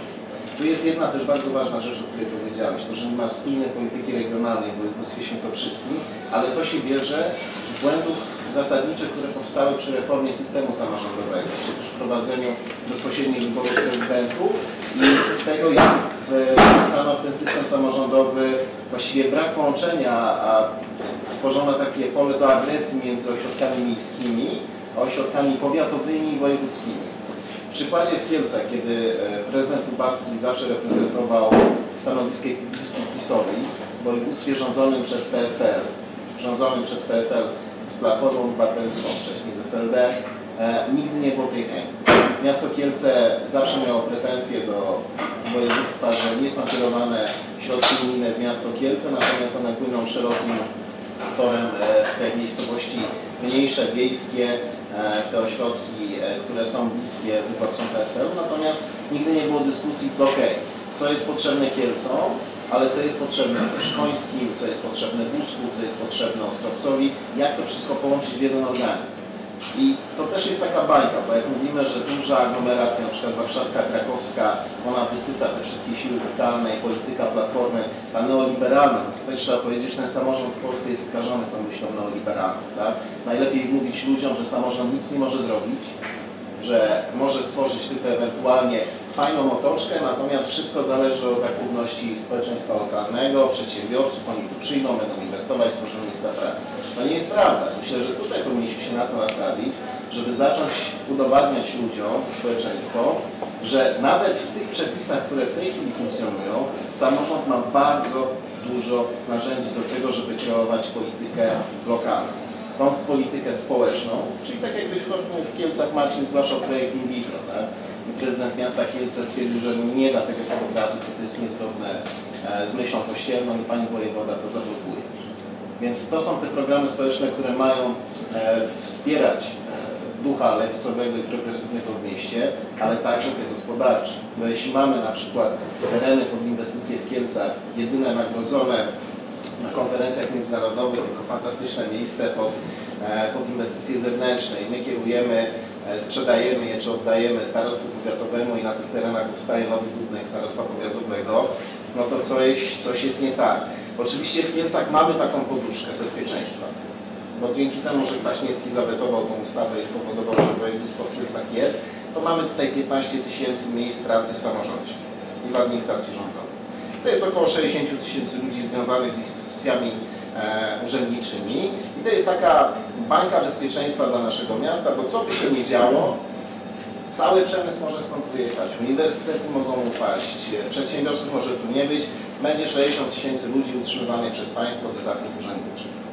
I ta bańka bezpieczeństwa powoduje, że no, nie myślimy zbyt rozwojowo, ale nie mówię tutaj o Kielczanach, mówię tutaj o władzy. Tak? Mamy gościa, który jest 16 lat przy władzy. To to, co powiedziałeś. Idzie się do niego i mówi się, że być może on źle robi jakąś rzecz, że my chcemy to, widzimy to inaczej. On tego nie postrzega w kontekście dyskusji, że on Cię traktuje jak partnera, który przychodzi do niego i chce coś z nim przedyskutować. Tylko on to traktuje, że Ty mu zarzucasz, że on się myli. On przecież 16 lat w tym mieście rządzi, on się nie może mylić. Jakby się mylił, to by go ludzie nie wybierali. To jest takie podejście tej naszej władzy samorządowej. Ja myślę, że ten pomysł dwukadencyjności PiSu, wbrew pozorom, on nie jest do końca chybiony. Bo mamy ten układ kielecki, o którym mówię, że wszystko mamy już poukładane. Wszyscy z każdym się znają, e, nie można nic zrobić, wszystko jest ułożone, wiadomo kto rządzi, wiadomo kto rządzi w szkołach, wiadomo kto rządzi na uniwersytecie. Notabene e, akurat nasz uniwersytet wspiera reformę Gowina, bo nasz uniwersytet jest bardzo prawicowy jeszcze od czasu Masalskiego, więc nasz uniwersytet akurat nie protestuje, nie bierze udziału w protestach przeciwko reformie Gowina 2.0, bo uważa, że będzie beneficjentem w jakimś stopniu tej reformy. Bo wzmocni się władze, e, wzmocni się władze rektora, wzmocni się władze kanclerza i generalnie rzecz biorąc będzie cacy, tak? Będzie UJK, które będzie takim kadłubkiem jak w tej chwili, bo to też jest prawda, że te szkoły prywatne, które takie ty wychwalałaś, one nie do końca się sprawdzają, ponieważ ci Ukraińcy nie przyjeżdżają tutaj się uczyć, przyjeżdżają pracować, a dzięki temu, że uzyskują statut y, studenta lub ucznia szkoły policealnej, mają pozwolenie na pracę. I 60-70% tych ludzi, którzy przyjeżdżają do kieleckich szkół z Ukrainy, przyjeżdżają głównie po to, żeby pracować. Oczywiście możemy myśleć, tak jak mówię, że część z nich się zasymiluje, ktoś z kimś się, się zakocha, zostanie rodzina w Kielcach i zwiększy potencjał Kielc, ale większość tych osób działa tak jak Polacy w latach 80. Zarobię pieniądze, wysłanie na Ukrainę i potem na Ukrainę wrócę i wybuduję dom. Więc ja myślę, że oczywiście nie możemy odrzucać tych ludzi, ponieważ oni są wartością dodaną zawsze do Kielc, ale nie powinniśmy koncentrować w przyszłości naszego miasta na, na asymilacji tej ludności migrackiej. Oni są, ale za chwilę pojadą do Niemiec, jak będą aktywni, a jak nie będą aktywni, to powiedzmy jedna dziesiąta z nich zostanie. Co do tego problemu braku wsparcia miasta dla inicjatyw lokalnych. No, ja akurat jestem pozytywnie zaskoczony, bo mi się udało złożyć petycję do miasta. Zebrałem tam 600 kilkadziesiąt podpisów, zrobili mi na osiedlu klub seniora. Także da się. Powiem szczerze, że e, problem był w tym, że ja nie znałem, jak jest procedura petycyjna w Kielcach przeprowadzana. Złożyłem tą petycję jako mieszkańca osiedla Podkarczów. I słuchajcie, babka z Wydziału Organizacyjnego Urzędu Miasta znalazła mi numer telefonu, dodzwoniła się do mnie i powiedziała Pani Przemku, ta petycja jest źle złożona, ale podpisało ją 600 kilkadziesiąt osób. Ja bardzo Pana proszę, niech Pan tą petycję poprawi, podmieni mi to pismo, tak żeby był konkretnie osoba, która tę petycję składa, bo będziemy ją musieli odrzucić ze względów formalnych, a jak Pan ją zmieni, to ona będzie do zrobienia. No mamy cudowny rok wyborczy i w Kielcach bardzo dużo rzeczy się da w tej chwili robić z takich inicjatyw oddolnych. E, buduje się nowe, e, nowe boiska dla dzieci e, w piłkę nożną na, na osiedlach, e, robi się kluby seniora. 31 milionów złotych w budżecie miasta jest przeznaczone na promocję. To jest też element. Nie wiem, co trzeba promować. Najpierw chyba trzeba stworzyć te, te Kielce, które można promować dziś na zewnątrz, a potem wydawać te pieniądze. Ale brakuje jednej najważniejszej rzeczy w Kielcach i to jest moja taka konkluzja. Brakuje ludzi, którzy byliby wykształceni do tego, żeby w efektywny sposób rządzić takimi miastami. Ponieważ w większości miast rządzą politycy będący częścią dawne, skażeni właśnie tym grzechem pierwotnym neoliberalizmu, który stał u podstaw polskiego samorządu. Bo ten samorząd powstał w głowach e, ludzi z Unii Wolności. I oni mają swój pogląd na to, jak ten samorząd powinien wyglądać. I ci ludzie, którzy wtedy wygrali wybory, często przez te kilkanaście lat się utrzymują przy władzy. Bo my zawsze porównujemy Kielce z Rzeszowem. Mówimy sobie tak, Kielce 20 lat temu startowały z poziomu Rzeszowa. Rzeszów miał farta, bo miał mądrego człowieka, który e, przejął władzę. Tą władzę utrzymuje tyle samo lat jak prezydent Lubawski w Kielcach. I widzimy, jak Rzeszów się rozwija gospodarczo, jak się rozwija społecznie, jakim przyjaznym miast, miejscem do życia się stał. A widzimy Kielce, które też mają jednego jedynowładcę od tych 16 lat i stały się przeciwnością Rzeszowa. Także ja myślę, że nie jest problemem, e, e, nie jest problemem cała ta otoczka i transfery centralne, problemem jest brak wykształconych kadr, które by były w stanie w efektywny sposób wykorzystać te zasoby, które miasto ma. Ale ja widzę takie szanse. Zmienimy prezydenta. Za 20 lat będzie nas 200 tysięcy. Tam Pan się zgłasza. Ja chciałem nawiązać zarówno do Waszej wypowiedzi, jak tutaj Pana. Jeżeli chodzi o inf- infrastrukturę, plany zabudowania przestrzennego, słuchajcie, miasto musi być jakieś, prawda? Musi być jakieś w sensie dla mieszkańców, czyli organizujemy się, różnego rodzaju komitety, zbieramy podpisy, składamy petycje. Te petycje, to co chcemy dla nas, na naszych małych y, osiedlach, naszych małych dzielnicach, to ma być wspierane przez miasto. Zarządzane tak naprawdę, nie oceniane. Ale również w samym ratuszu.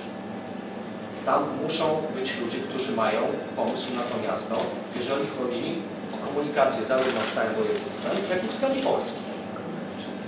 Od tego, jaki pomysł będziemy mieli na miasto, będą zależeć nie tylko inwestycje, ale również to, kto do nas przyjedzie. Bo przyjedzie po coś. Nikt nie przyjedzie pomóc.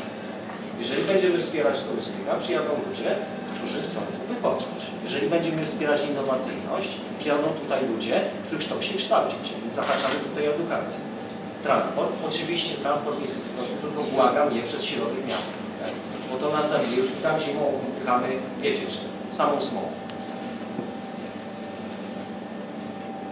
Jakbyście mieli wybrać jedną rzecz, tak, jakie mogłyby być Kielce, taki, taki rodzaj pomysłu, co byście wybrali?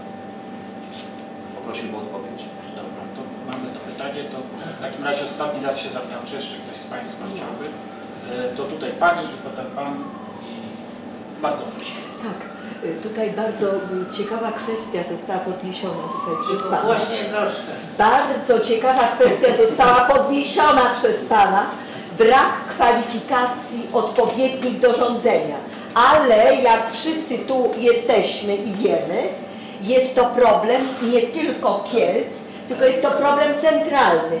Powiem, że nie będę mówiła, że w krajach cywilizowanych, bo byłoby, obrażałoby to nas, ale powiem na przykład y, we Francji, którą znam doskonale z różnych względów, nie jest do pomyślenia, żeby ktoś w administracji działał i rządowej, i lokalnej na wysokim szczeblu, kto nie ma skończonych studiów, które się nazywają ENA. To jest Szkoła Administracji Publicznej i tam są kształceni ludzie. Żeby się dostać do takiego ENA, trzeba konkurs jakiś wygrać, gdzie na jedno miejsce jest 500 osób, więc tam wybierają najlepszych. Potem mamy fachowców, którzy umieją doskonale rządzić i od tego zacznijmy. A u nas są przypadkowi ludzie od góry do dołu. Jak mogą tacy ludzie rządzić? Wójt Pcinia. Wójt Pcinia jest szefem e, koncernu. No przecież to są rzeczy Ale jest spisu, więc Porady- ma kwalifikację. porady- tak, naturalnie, że jest z PiSu, więc zdaniem ma kwalifikację, ale nie ma. Od ryzyka ma kwalifikacje podpisane, ryzyk zarządził, wskazał, pokazał, koniec, kropka. Przepraszam, że to trywializuję, ale taka jest szczera prawda. U nas rządzi Kościół i za 90% wszystkiego jest odpowiedzialny za to, co się u nas dzieje. Koniec, kropka. A teraz jeszcze chcę tylko powiedzieć, nawiązać do naszych dawnych, że tak powiem, bo wy tutaj jesteście no, w połowie młodzi, więc pewnych rzeczy nie pamiętacie. Y, Chciałam Państwu zadać pytanie, bo Ty Małgosiu powiedziałaś, czy Ty Edytko, że stoją biurowce wybudowane i no w sumie nic się nie dzieje, bo nie ma przedsiębiorców. To Ty Małgosiu mówiłaś. Proszę Państwa, zadam Wam pytanie, bo od tego zacznijmy, czyli od kasy, prawda? Jaki podatek od nieruchomości tutaj płacą przedsiębiorcy? Czy wiecie? Najwyższy. Najwyższy, brawo, najwyższy w Polsce. Jak tutaj przyjdzie, nie wiem czy Państwo zdajecie sobie sprawę z tego, że człowiek, który ma mieszkanie w bloku, to płaci grosze. Ale człowiek, który prowadzi biznes, od każdego metra, ile teraz Marcin płaci? Jeszcze od środków transportu. O tak. Najwyższy w Polsce od Też, samochodów firm. prawda? Słuchajcie, to są najwyższe podatki w Polsce. To nie są żarty. Stąd Tutaj ludzie... wyprowadzały na okoliczne wsi. Oczywiście, oczywiście, czyli y, radny Chłodnicki może to potwierdzić. To, co ja mówię, i to jest od lat. Od lat, ja pamiętam w latach 90., wtedy ja działałam w Forum Pracodawców, rządziła lewica i mówili, no my mamy najwyższy podatek. Ja, która jestem tak lewicowym człowiekiem, muszę to po, publicznie powiedzieć, bo ja mówię tylko prawdę, taka jest prawda szczycili się tym, że, że jest wysoki podatek. Jak tutaj przedsiębiorcy mają działać? Jak od byle jakiego lokalu, w którym własnego, w którym prowadzą działalność, tak horrendalne kwoty płacą. A przecież jeżeli Państwo znacie w ogóle sprawę działalności przedsiębiorstw, to wiecie jak wysokie są ZUSy, jak wysokie jest opodatkowanie płac, jakie są ogromne obciążenia i jeszcze podatek od nieruchomości. Ja słyszałam, że teraz tylnymi drzwiami się będzie wprowadzało podatek, w tej chwili Morawiecki chce wprowadzić podatek katastralny. Już został. Już został, proszę bardzo. Ale to jest y, dla, od nieruchomości. tak, ja wiem, 10 powyżej, ja to wiem, ja to wiem, zgadzam się, tak, dobrze, powyżej 10 milionów, dobrze, ale czy przez tyle lat to nie blokowało tutaj ludzi, że nie chcieli przyjść, bo tu jest najwyższy w Polsce podatek od nieruchomości. Przecież przedsiębiorcy, którzy prowadzą działalność, umieją liczyć. No po co? Proszę Państwa, byłam e, dwa tygodnie temu w Lublinie, bo mówiliśmy tutaj o Rzeszowie, o Lublinie, na Nocy Kultury w Lublinie. Całą noc coś się działo. Proszę Państwa, to jest ściana wschodnia, tam jest tygiel kultur, tygiel wyznań, tam nikomu nic nie przeszkadza. Ym, Nie widziałam grup, które by przeszkadzały z ogolonymi głowami krzyczących. Nie widziałam. Ludzie w kulturalny sposób całą noc się bawią, chodzą po kawiarenkach, restauracyjkach, są świetne imprezy, młodzież bierze w i tak dalej, i tak dalej.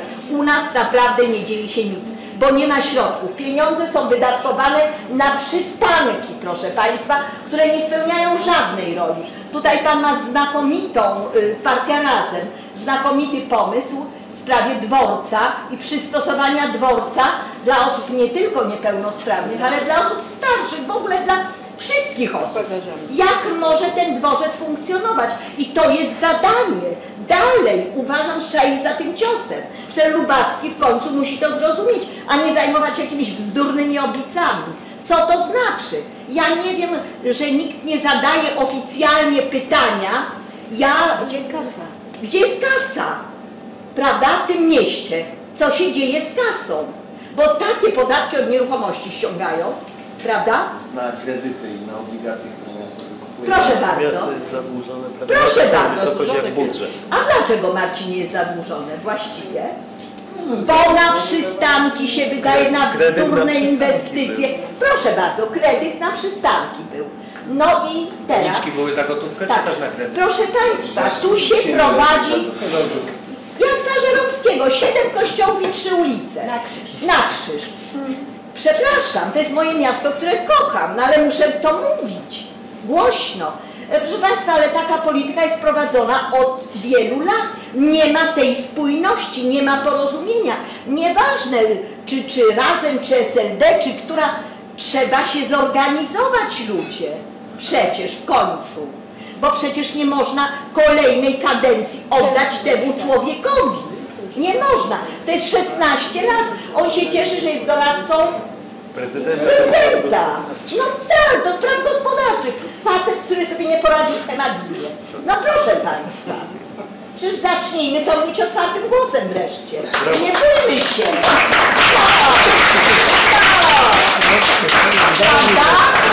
Dalej jeszcze powiem, że grzeszyli wiele lat. Wiele lat. Ja działałam w forum pracodawców i błagałam na forum pracodawców, nie sprzedawajcie kury znoszącej złote jajo, czyli, mówiłyście dziewczyny o tym, przedsiębiorstwa, które zawsze przynosi zyski, śmiecie. Oczywiście miasto sprzedało 50% udziałów. Skąd teraz mają być pieniądze? Teraz Marcinku obligacje, prawda? Kredyty. Proszę bardzo. I to jest gospodarka. Jak tak można? To do niczego nie prowadzi. My nie mamy, my ma 50% udziałów w śmieciach straciliśmy. Ja byłam jedyną osobą, kobietą, której oczywiście nikt nie słuchał, która protestowała przeciwko temu. Ale wszystko już było załatwione. I kupiła jedna firma, niemiecka, y, francuska, Veolia. pierwsza. Proszę? Veolia. Veolia, tak, która podatków przez 10 lat nie płaciła. Natychmiast jak się kończył okres bezpodatkowy, kupiła firma niemiecka i znowu 10% nie mamy pieniędzy. A miasto na śmieciach nie zarabia. No jak tak można? Ludzie na się, no pewno, no miasto, ale to jest przecież złota kura znosząca złote jajo. Ludzie zawsze będą produkować śmiecie i śmiecie zawsze będą wywożone, prawda? No ale na usługach publicznych miasto ma nie zarabiać. Ja uważam, że powinny być te usługi dobre i jak No najtańsze. dobrze, Niech miasto na no dobrze, no dobrze, ale chociaż trochę niech zarabia, niech nie odsprzedaje, żeby kto inny zarabiał to. Nie zarabia prywatny nie zarabia. Proszę, że przyjmijmy, że przynajmniej niech prywatny nie przyjmijmy, zarabia. niech zarabia prywatnie. zostać publiczna, a nie prywatna. Dobrze, to, to bardzo, bardzo Dziękuję, dziękuję Tam państwu. Pan się jeszcze zgłaszał, przejdziemy do podsumowania. Spróbuję zabrać głos nie jako polityk i nie jako społecznik, tylko jako przedsiębiorca. Dlatego będę mówił przez pryzmat kasy. Więc e, jeżeli zaczniemy najpierw, e, odniosę się tylko jednym zdaniem do tego, co mówił tutaj pan, przepraszam, nie, nigdzie nie, nie, znam nazwiska. E, jaka, jest, jaka jest przyczyna tego, że PiS doszedł do władzy?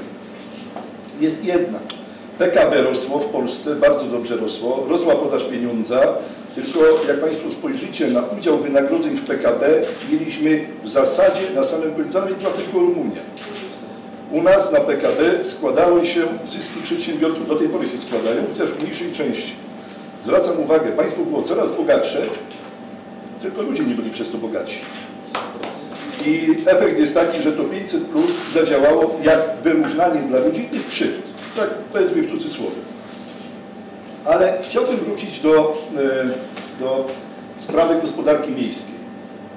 Jak Państwo spojrzycie, to dobry gospodarz dba o przychody miasta. Jak Państwo spojrzycie na budżet, to główną pozycją budżetu miasta jest co? Dochodów własnych jest co? Jest PIT, 50% naszego PIT-u. A drugą ważną pozycją po PIT-cie jest co? Jest podatek od nieruchomości. No. Głównie od przedsiębiorców. Podatek od nieruchomości od przedsiębiorców jest ustalany, to pan radny Chorlicki może powiedzieć, co roku. Nie może przekroczyć maksymalnej wartości, ale gdzieś tam w, w okolicach blisko 23 zł z metra, jeżeli chodzi o powierzchnię użytkową. Ja wiem, że możemy mieć dużo, ale proszę Państwa, jak spojrzycie na samorządy w Polsce, naprawdę od tych wartości robią bardzo niewielkie, naprawdę bardzo niewielkie e, zejścia na dół. Generalnie samorządowcy nie chcą być posądzani o stronniczość i o takie sprzyjanie kapitałowi. Więc generalnie te stawki od nieruchomości są bardzo wysokie. E, odnosząc się do tego, co Pani powiedziała na temat studentów. Proszę Państwa, dlaczego studentów w Kielcach nie ma? Jak Państwo spojrzycie na wynagrodzenia, to od roku 2003 wynagrodzenia w Kielcach w stosunku do średniej krajowej maleją. Nie znam drugiego miasta, w którym by ten spadek taki był gwałtowny. U nas jest to 5% w ciągu tych 15 lat. Jak spojrzymy na Rzeszów, wzrosło 10%. Jak e, zdarzyło mi się rozmawiać bardzo długo, na początku wiosny, z, z, z Ferencem, który ma 78 lat, mówię o Rzeszowie, to Ferenc właściwie miał tylko jeden temat. Mówi, mnie w zasadzie nic nie interesuje, tylko kasa. Ja chcę, żeby ludzie tu zarabiali pieniądze. Ja chcę tu ściągać przedsiębiorców. Dlaczego? Dlatego, że jak ściągnie przedsiębiorców, to mu wpływa podatek od nieruchomości, wpływa mu PIT. Student, jak y, Rzeszów jest w tej chwili pierwszym, czy miastem w Unii Europejskiej, który ma największy odsetek studentów na tysiąc mieszkańców. Jest na pierwszym miejscu. I to Czerek się tym bardzo chwali, mówi, popatrzcie, co mi się udało zrobić. Ale dlaczego? Jak pan to zrobił? Daje robotę dla ludzi. Daje pracę, nic więcej. E, W Kielcach tej pracy nie ma i e, jest pewna zależność między wpływami z CIT-u, czyli Państwo wiecie, co to jest CIT, a liczbą studentów. Jak Państwo spojrzycie, w Kielcach około 2010 roku gwałtowny spadek wpływów i to w każdym mieście jest. Są wpływy z CIT-u, są miejsca pracy. Studenci zostają. Nie ma tego, studenci uciekają, bo nie mają czego szukać. Jak jesteśmy przy WSP, WSP w ciągu od 2003 roku, 2004 roku, przepraszam, 60% spadku liczby studentów. Ale kadry nie zmalały, tak na marginesie. Może rzeczywiście trzeba to odświeżyć. Pani Maryni mówiła o planach zagospodarowania przestrzennego. Proszę Państwa, to jest prawda. W Kielcach jest 17,5% tylko. To są te ostatnie dane. Ale z punktu widzenia zarządzającego samorządem nie jest to istotne. Mm, Bardziej istotne jest to, co w Kielcach się nie dzieje. To znaczy Kielce są miastem, które ma gęstość zaludnienia po odjęciu terenów chronionych prawie 5 tysięcy ludzi na kilometr kwadratowy. Najwięcej w Polsce. Najwięcej. Jesteśmy rekordzistą. Najwięcej. U nas nie ma gdzie budować. U nas jest pustynia betonowa, dlatego ponieważ nie przyłączyliśmy żadnych terenów w tym czasie. Z jednej strony mamy prawie ponad dwie trzecie w sumie terenów chronionych, na których nie można nic budować. Z drugiej strony nie przyłączyliśmy nic, gdzie moglibyśmy inwestować. U nas nie ma terenów do inwestycji. Nie ma. W Kielcach nie ma. Powtórzę to jeszcze raz. W Kielcach gęstość zaludnienia jest prawie 5 tysięcy mieszkańców na kilometr kwadratowy. Dlatego mamy pustynię betonową. Z ciekawości, a co to są za tereny chronione? Słucham? Przyrody, ujęcia wody. A, okej. Na tych terenach w zasadzie zabudowa jest niemożliwa, ponieważ trzeba wykazać brak uciążliwości, a to jest praktycznie nierealne. E, Jeżeli Państwo spojrzycie w tym samym czasie na Rzeszów, w Rzeszowie wzrosła, powierzchnia miasta wzrosła dwukrotnie. Razy dwa to, co było. Po to, żeby były tereny inwestycyjne. I e, w Kielcach nigdy to, to nie nastąpiło, tego procesu nie było. E, Mówię to wszystko po to, żeby zwrócić Państwu uwagę na coś takiego, że my w zasadzie nie mamy się oglądać na to, co zrobi władza centralna, tylko w interesie władzy lokalnej, czy inaczej w interesie samorządu, jest ściągać przedsiębiorców, nawet rozdawać za darmo ziemię. Bo dopóki ta ziemia jest ziemią samorządu, to nie ma z nich żadnego dochodu. W momencie, jak ona jest sprzedana dla przedsiębiorcy, to wpływa podatek od nieruchomości od przedsiębiorcy. Mało tego, ten przedsiębiorca daje ludziom pracę, wpływa PIT, wpływa podatek od nieruchomości. A PIT i podatek od nieruchomości to są dwa największe źródła dochodów budżetowych miasta. Każdego miasta. Dziękuję bardzo. Można krótko. Tak, ostatni głos, bardzo No, proszę. ale warto by jakieś wnioski z tego, tej dyskusji wyciągnąć. A- I tu krytyka głównie jest przeciwko władzy. Że władza jest zła. Będą wybory, przyjdą inni i będzie taka sama zła. A dlaczego? Ja się tu pani pytam, czy pani zna No. jakieś organizacje społeczne, która by zaskarżyła decyzję e, Lubawskiego y, Rady, czy pani zna taką organizację społeczną? Żeby zaskarżyła do sądu decyzję. Nie ma, nie zna pan. I nikt tutaj nie zna takiej.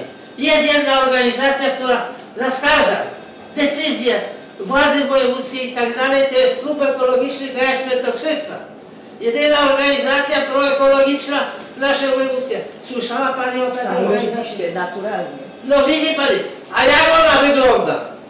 To jest kilkanaście osób. Chcieliśmy rację prawnego. Nie chciał nikt za darmo. Ja mówię, będziecie mieli pieniądze, trzeba pieniądze zdobyć.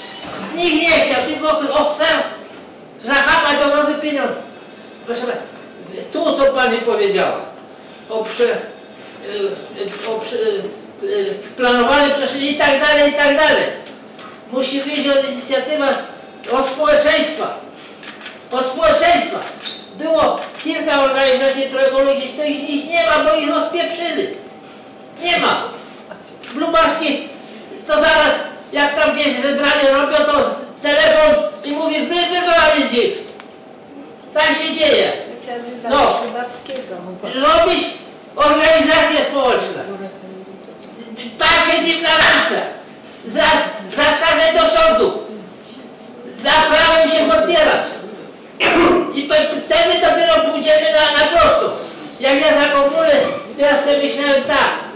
Jak będziemy mogli zorganizować partie, społeczne, społeczne organizacje, to się nie damy.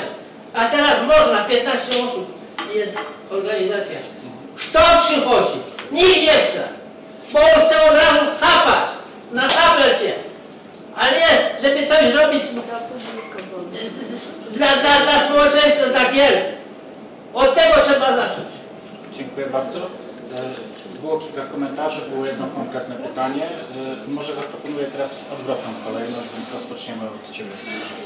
Odpowiedź na te E, Bo było jedno pytanie konkretne, jakbyście mieli jednym słowem Wasze takie hasło dla Kielc. Znaczy jeden pomysł zdaniem. na to, jakie Tak. może być to miasto, jakie ma być to miasto. Tak. Taką. I oczywiście, jeśli chcesz się też odnieść do jakiejś innej opinii, która Cię wyjątkowo zbulwersowała, albo która Ci się wyjątkowo spodobała. Ja jestem przeciwnikiem czegoś takiego jak tworzenie jednego hasła dla miasta i budowanie wokół tego jakiejś wartości, bo pojawiały się już koncepcje takie, że Kielce mają być miastem seniorów, miastem mody, miastem polskiej piosenki. W zeszłym roku o mało co nie zostaliśmy, na szkodę innego miasta i tak naprawdę łatwo jest przestrzelić, trafić kulą w płot i przestrzelić zupełnie. Kielce mają być miastem po prostu dobrej jakości życia. Dla każdego. I dla seniorów, i dla młodych, i dla studentów, i dla przedsiębiorców. Nikogo nie można wykluczać. E, Nie można tworzyć gett, tak jak ma to miejsce, jeśli powstaje wielki biurowie, wielki budynek w centrum miasta, jest przeznaczony w całości na nawet nie mieszkania komunalne, tylko socjalne, to polityka miasta jest zupełnie chybiona i tworzą się getta, które potem trzeba latami rozwiązywać te sytuacje. E, Zastanawiamy się nad tym, czy właśnie przykład ulicy Młodej nie wykorzystać do tego, żeby stworzyć tam ośrodek, który miałby być kulturalny, w którym moglibyśmy przyjmować gości przyjeżdżających tutaj, na przykład twórców, do, zaadaptować to na takie właśnie cele. Drugi miejsce, drugie takie miejsce, to też jeśli chodzi o planowanie przestrzenne, może właśnie to, co e, miałem na myśli, brak współpracy z uniwersytetem. E, UJK wyprowadził się z ulicy Leśnej i tam ma powstać jeden, jedna z części Urzędu Miasta. Tworzymy sobie centrum administracyjne, które będzie zamierało w popołudniowych godzinach i to wpływa na wyludnianie się i na spadek atrakcyjności centrum miasta tak naprawdę. Drugie takie miejsce, które miasto powinno wykorzystać w zupełnie inny sposób, a nie urząd, to jest właśnie ten bardzo cenny budynek przy ulicy Leśnej. Także ogólnie nie jakieś jedno hasło dla miasta, tylko jak najlepsza jakość życia. I ten dworzec. Też, jeden z wielu tematów. I tylko ja, ja pytanie, czy będzie takie jeszcze spotkanie kiedyś? Dokończmy to, dokończmy to. Trzeba przedyskutować i, i plan jakiś ułożyć działania i działać, no. I zupełnie nie ma. To ja do Pana właśnie. E, Bywa Pan na ulicy Panorawicznej? No, no bywa, bywa. Są tam takie drzewka, prawda? Jeszcze zostały jako jedne z nielicznych. One miały być wycięte mm, kilka lat temu chyba, bodajże już ponad dwa. I moja organizacja Stop Stereotypom zaskarżyła tę decyzję. uchwali się. sukcesem. Te drzewa zostały, zabroniono tej wycinki, one są do dziś. Także y, działają, Ale naprawdę proszę, ile, ile się wycina, proszę Pani, myśmy Zgoda, na zgoda. Cedynie i niech Pani zobaczy, pas był zieleni tego wycięli, a myśmy mówili po lewej stronie, bo tam nie ma drzew, można poszerzyć chodnik. To nie, proszę Pani. I wydali decyzję przed, y, o, wydanie wyroku przez sąd. A bo oni mówią, ewaluacji mówi tak, a sąd tak zrobi jak, jak my. Przyklepie nam. No i ma, ma pan. Zgoda. I chciałam właśnie podać przykład teraz dwóch spraw y, takich lokalnych, obywatelskich, które y, właśnie trwają. Jedna to jest y, sprawa mieszkańców Doliny Silnicy. Pewnie o tym Państwo już słyszeli. I, no i tam jest, y, generalnie chodzi o to, że w miejscu, które jeszcze jest zielone, jest takim zaciszem, ma być poprowadzona droga. Mieszkańcy bardzo mocno protestują, obecnie szukają wsparcia e, u różnych grup społecznych przeciwko właśnie tej polityce betonowania miasta. Jest to naprawdę urokliwy zakątek. I tutaj oni już też są właśnie traktowani jako ten wróg numer jeden obecnie, tak, przez władzę. E, Druga sprawa, mieszkańcy osiedla Sieje, tam mamy e, te słynne TBS-y, gdzie też na pisma do prezydenta miasta są, ym, znaczy nie ma odpowiedzi do mieszkańców. Oni się bardzo fajnie zorganizowali w taką już grupę liczącą chyba 50% mieszkańców osiedla, w takie stowarzyszenie y, KTBS. Y, Ale generalnie też nie mogą doczekać się odpowiedzi w swojej sprawie, więc zaskarżają to z kolei, ale czas mija, a oni nie mogą doprosić się jednej właściwie prostej sprawy. Oni nie chcą nic tutaj za darmo. Y, Liczą tylko na mały aneks do umowy, żeby po spłacie kredytów y, mieli możliwość zakupu mieszkań na preferencyjnych warunkach. I to też się spotyka z betonem, z murem. Oni też proszą różne organizacje społeczne o wsparcie. No, moja organizacja będzie wspierała obydwie te sprawy y, i Państwo też, jak tutaj siedzą, też nie mam wątpliwości, że na pewno. Więc tak to wygląda. Dlatego odpowiadając na pytanie Artura, Miasto Kielce powinno być y, miastem czerpiącą, czerpiącym z mądrości jego mieszkańców i mieszkanek. Nie stoi nic na przeszkodzie, że tak jak y, nawet dzisiaj wśród wypowiadających się padły różne pomysły, żeby y, prezydent czy grupa radnych y, spotkała się z ludźmi, którzy przychodzą z konkretnymi, dobrymi rozwiązaniami i jednocześnie z grupą ekspertów, którzy mogą ocenić czy można to wprowadzić, czy nie. Dlatego ja też y, patrzę z przymrużeniem oka na, na hasła na przykład kandydatów. W każdych kolejnych wyborach mam plan na Kielce. Nie masz planu na Kielce, bo to jaki by nie był, będzie to zły plan, bo to będzie tylko i wyłącznie Twój plan dla całej rzeszy ludzi. To ma być nasz wspólny plan. Musi, kandydaci, prezydenci, radni muszą się otworzyć na ludzi i mieć zawsze czas, chęć na wysłuchanie tych ludzi i skonfrontowanie to z opinią ekspertów. Więc musi to być miasto czerpiące z mądrości mieszkańców. A przepraszam, w czwartek ma być sesja na Tak, temat tak. Doliny Silnicy. Wybieram się. Właśnie Państwo, jeżeli się wybierają na sesję Rady Miasta, to też za zachęcam. E, W sprawie Doliny Silnicy, tak, 28 to będzie w czwartek. Od 10 chyba sesja, tak? Właśnie tak są organizowane sesje Rady Miasta w godzinach pracy. To jest proobywatelskie. Na razie tego nie No, przeskoczę. Dajmy, dajmy szansę Edycie, żeby mogła... Zawsze najgorzej jest wypowiadać się na samym końcu, w szczególności kiedy się podsumowuje, dlatego że ja nie mogę tak naprawdę powiedzieć, że to wszystko, co przede mną zostało powiedziane, ja się z tym nie zgadzam, wręcz przeciwnie. Problem dworca, tak jak tutaj Pani zauważyła i Ty również, jak tu, jak dobrze pamiętam? E, W każdym bądź razie jest znany nam nie od dzisiaj, dlatego że ja osobiście chociażby 5 lat temu, a później jeszcze kolejne dwa, czyli 3 lata temu pisałam do PKP w tej sprawie. Za każdym razem otrzymywaliśmy informacje, bo powiedzmy sobie jeszcze, że nie wszystkie rzeczy należą też od miasta, że zostanie zrobione, już będzie wyremontowany w następnym roku i tak dalej, i tak dalej. Kolejna odpowiedź była, że no, szykuje się większy remont, w związku z powyższym wstrzymaliśmy się, bo będzie. Ja mam tylko nadzieję, że ten remont, który teraz został e, nam, że tak powiem, zapowiedziany, w końcu się skończy i te rzeczy, o których mówiliśmy, będą e, załatwione. Do Przemka tylko jedynie mogę powiedzieć, że ja nie chwaliłam żadnych uczelni e, prywatnych. Nie chodziło tylko o to, żeby pokazać, że e, jeśli wejdą te przepisy nowe w życie, to w szczególności oczywiście prywatne szkoły, ale również e, szkoły publiczne mogą stracić po prostu najzwyczajniej w świecie na jakości nauczania, a jeśli stracą na jakości, tracimy również my jako obywatele. Powiem szczerze, nie ma jednego hasła, które można było uszczęśliwić i uzdrowić tak naprawdę jakąkolwiek instytucję, a tym bardziej tak duże miasto. Podsumowałabym to bardziej w ten sposób. Miasto Kielce, tak samo jak każde inne mniejsze miasto, powinno być miastem ludzi, którzy godnie w nim żyją.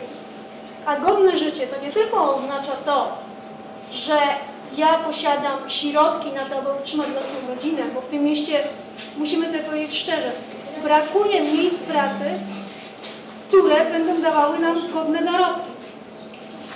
Bo owszem, my mamy dzisiaj 5,8% bezrobocia, to naprawdę mało. Biorąc pod uwagę, że w kraju jest e, 8, 6, tak, tak, 6, a w województwie świętokrzyskim 8,8. Ale prawda jest taka, że tu nie tylko chodzi o to, żeby były miejsca pracy, ale żeby były dobre miejsca pracy. Druga rzecz, aby ludzie godnie żyli, to również e, trzeba im e, zapewnić godne warunki do życia. Nie tylko infrastrukturę, a powiedzmy sobie szczerze, kilkadziesiąt kilometrów dróg w są drogi tak naprawdę gruntowe. I od lat nie robi się nic w tym kierunku, aby w szybszym tempie doprowadzić do tego, aby ludzie mieszkali, tak jak mówię, w godnych warunkach. Dodatkowo godne warunki życia to również przecież kwestia właśnie edukacji, czyli wspierania szkolnictwa wyższego, wspierania również, jakby nie było, szkolnictwa podstawowego, czyli e, czy e, średniego. Pamiętamy dobrze, że już od kilku lat e, miało być w Kielcach Centrum Nauczania Ustawistycznego, różnie się to nazywało w międzyczasie, do tej pory czegoś takiego nie ma. A to jest nam potrzebne, bo dzięki temu możemy kreować tak naprawdę, możemy uczyć nasze dzieci tego, co będzie nam potrzebne później na rynku pracy a nie produkować bezrobotnych, którzy uciekają za granicę, no bo niestety nie mogą się odnaleźć e, w rzeczywistości, którą mają dostaną w Kielcach. I godne, e, godne życie to również życie w środowisku, które pozwala na samorealizację. Bo to jest bardzo ważne. To, o czym wspominałaś, Małgosiu, inicjatywa e, uchwałodawcza. Na szczęście o zgrozo bądź nie o zgrozo, w zależności jak to odbierzecie, to właśnie PiS wprowadził niedawno poprawki, gdzie e, inicjatywa uchwałodawcza, a także budżet obywatelski ma być w każdym statucie e, gminy. W związku z powyższym do tego za chwilę będziemy wracać. Mam nadzieję, że nasi mieszkańcy w końcu obudzą się z tego letargu i wezmą sprawy również w swoje, w swoje ręce, że ta inicjatywa uchwałodawcza chociażby pobudzi ich szare komórki do zmieniania tego miasta na lepsze.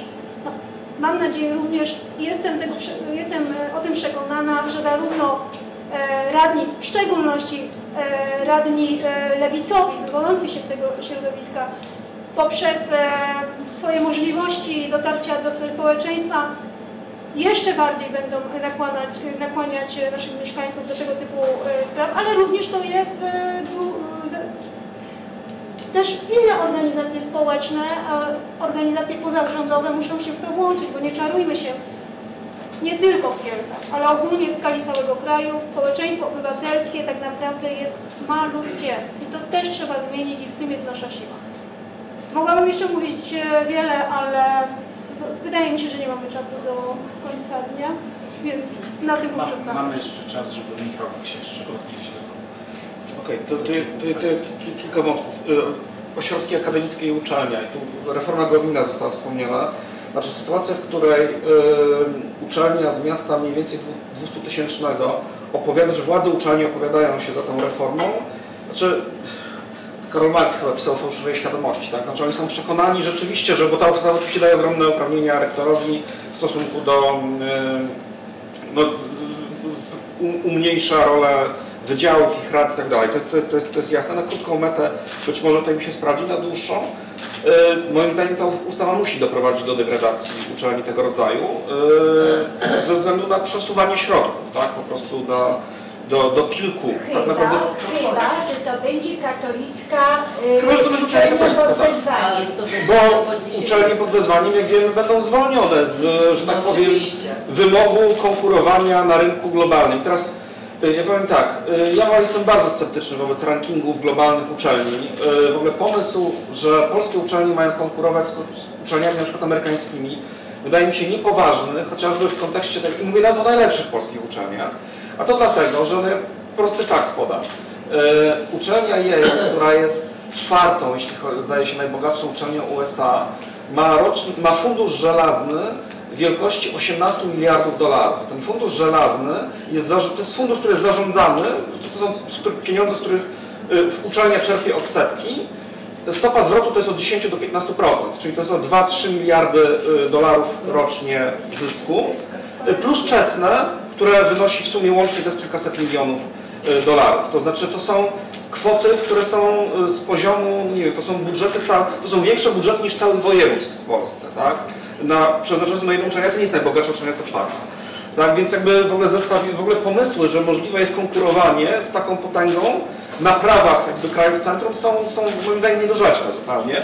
Dużo ważniejsze jest to, żeby uczelnie spełniały po pierwsze rolę kształcenia przyzwoitych kadr do y, pracy w bardzo różnych zawodach, ale także, żeby to były uczelnie, które mogły prowadzić coś, coś o czym Maciej Dula bardzo często mówi, jeden z najważniejszych chyba intelektualnych przeciwników reformy Gowina, kiedy mówi, że w- po reformie Gowina badania, na przykład społeczne, które miałyby dotyczyć lokalnej specyfiki, lokalnej sytuacji, tak? Na przykład to, że Uniwersytet w Kielcach, no nie wiem, bada chociażby specyfikę lokalnego rynku pracy, tak?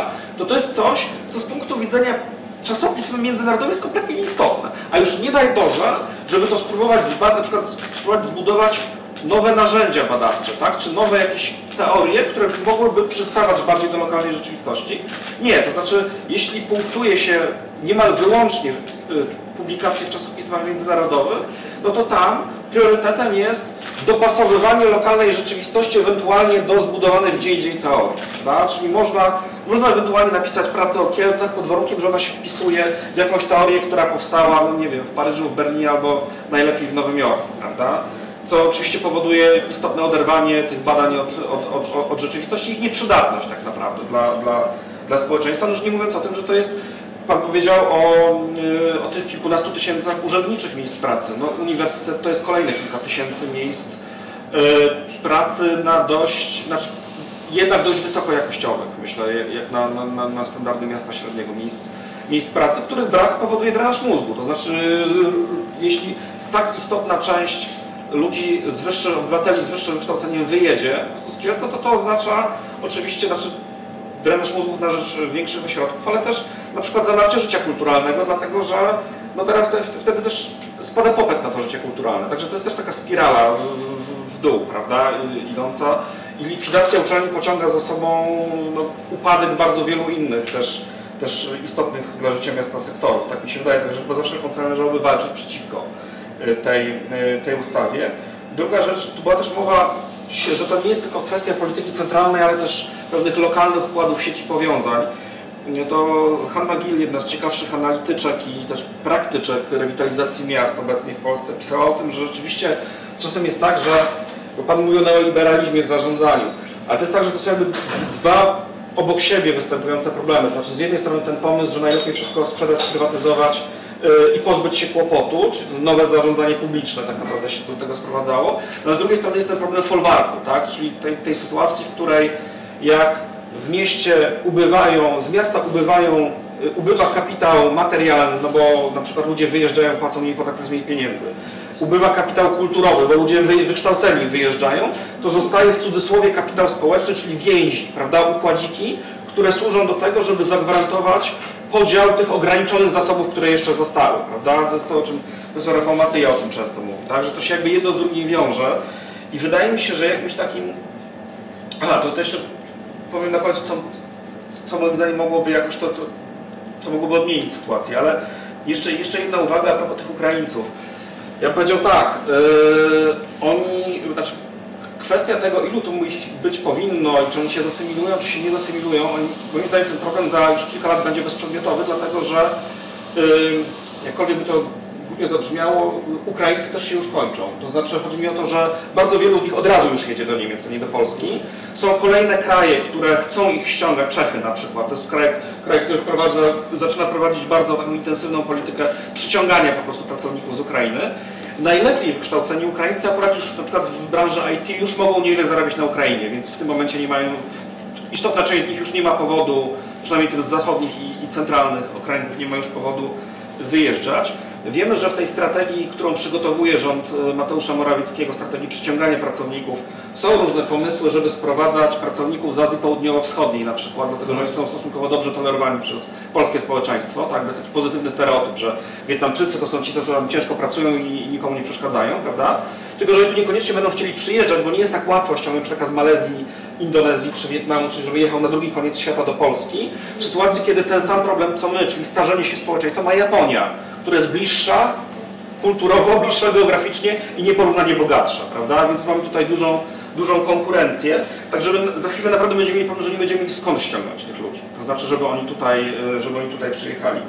I taka ostatni wątek, który chciałem po- poruszyć, taki mój pomysł jakby skąd, znaczy gdzie, gdzie, gdzie można szukać y, y, zmiany. Wydaje mi się, że trzeba wyjść y, poza tą perspektywę lokalną, w tym sensie, że obywatele miast małych i średnich powinni się próbować organizować w koalicję z innymi obywatelami miast małych i średnich po to, żeby status tych miast był tematem nie tylko w kampanii samorządowej, żeby krótko mówiąc, temat samorządów nie był tematem na wybory samorządowe tylko i wyłącznie, ale także na to, żeby to była agenda partii politycznych startujących do parlamentu po prostu, tak, żeby postawić wreszcie problem relacji między metropoliami a miastami średnimi i małymi na poziomie y, wyborów do ogólnokrajowych, prawda, żeby partie były zmuszone jakby konkurować o głosy, przedstawiając wyraźną, czytelną agendę samorządową.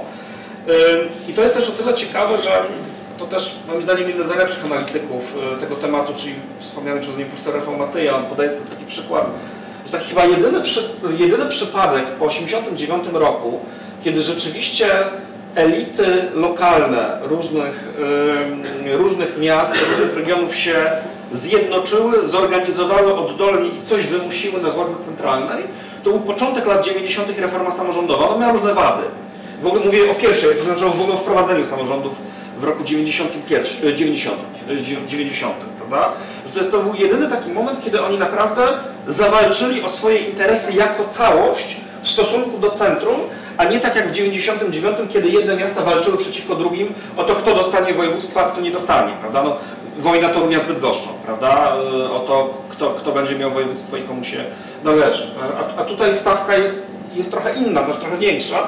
Znaczy o to, żeby w ogóle przebudować relacje między centrum a, yy, a tym poziomem średnim, a, czy, czy półperyferiami powiedzmy Polski. To jest coś, o co powinny walczyć partie polityczne w kampanii wyborczej do 2000, w 2019 roku do, do Sejmu. Tylko, że to się nie wydarzy bez, bez, nacisku, bez nacisku oddolnego. To znaczy, jeśli lokalni politycy, jeśli obywatele nie wymuszą tego, żeby y, stosunek centrum do na przykład samorządów nie sprowadzał się do tego, o czym tu była mowa, czyli do posła Macierewicza, który walczy o, nie wiem, o kolejną odkrywkę na przykład, bo tam zdaje się też był taki temat wokół Bełchatowa, czy y, posła nieżyjącego już Gosiewskiego, no, który jak wiemy zasłynął przystankiem we Włoszczowej, no ale było pewnie jeszcze kilka innych takich kwestii, którymi jakoś się przysłużył swojemu regionowi.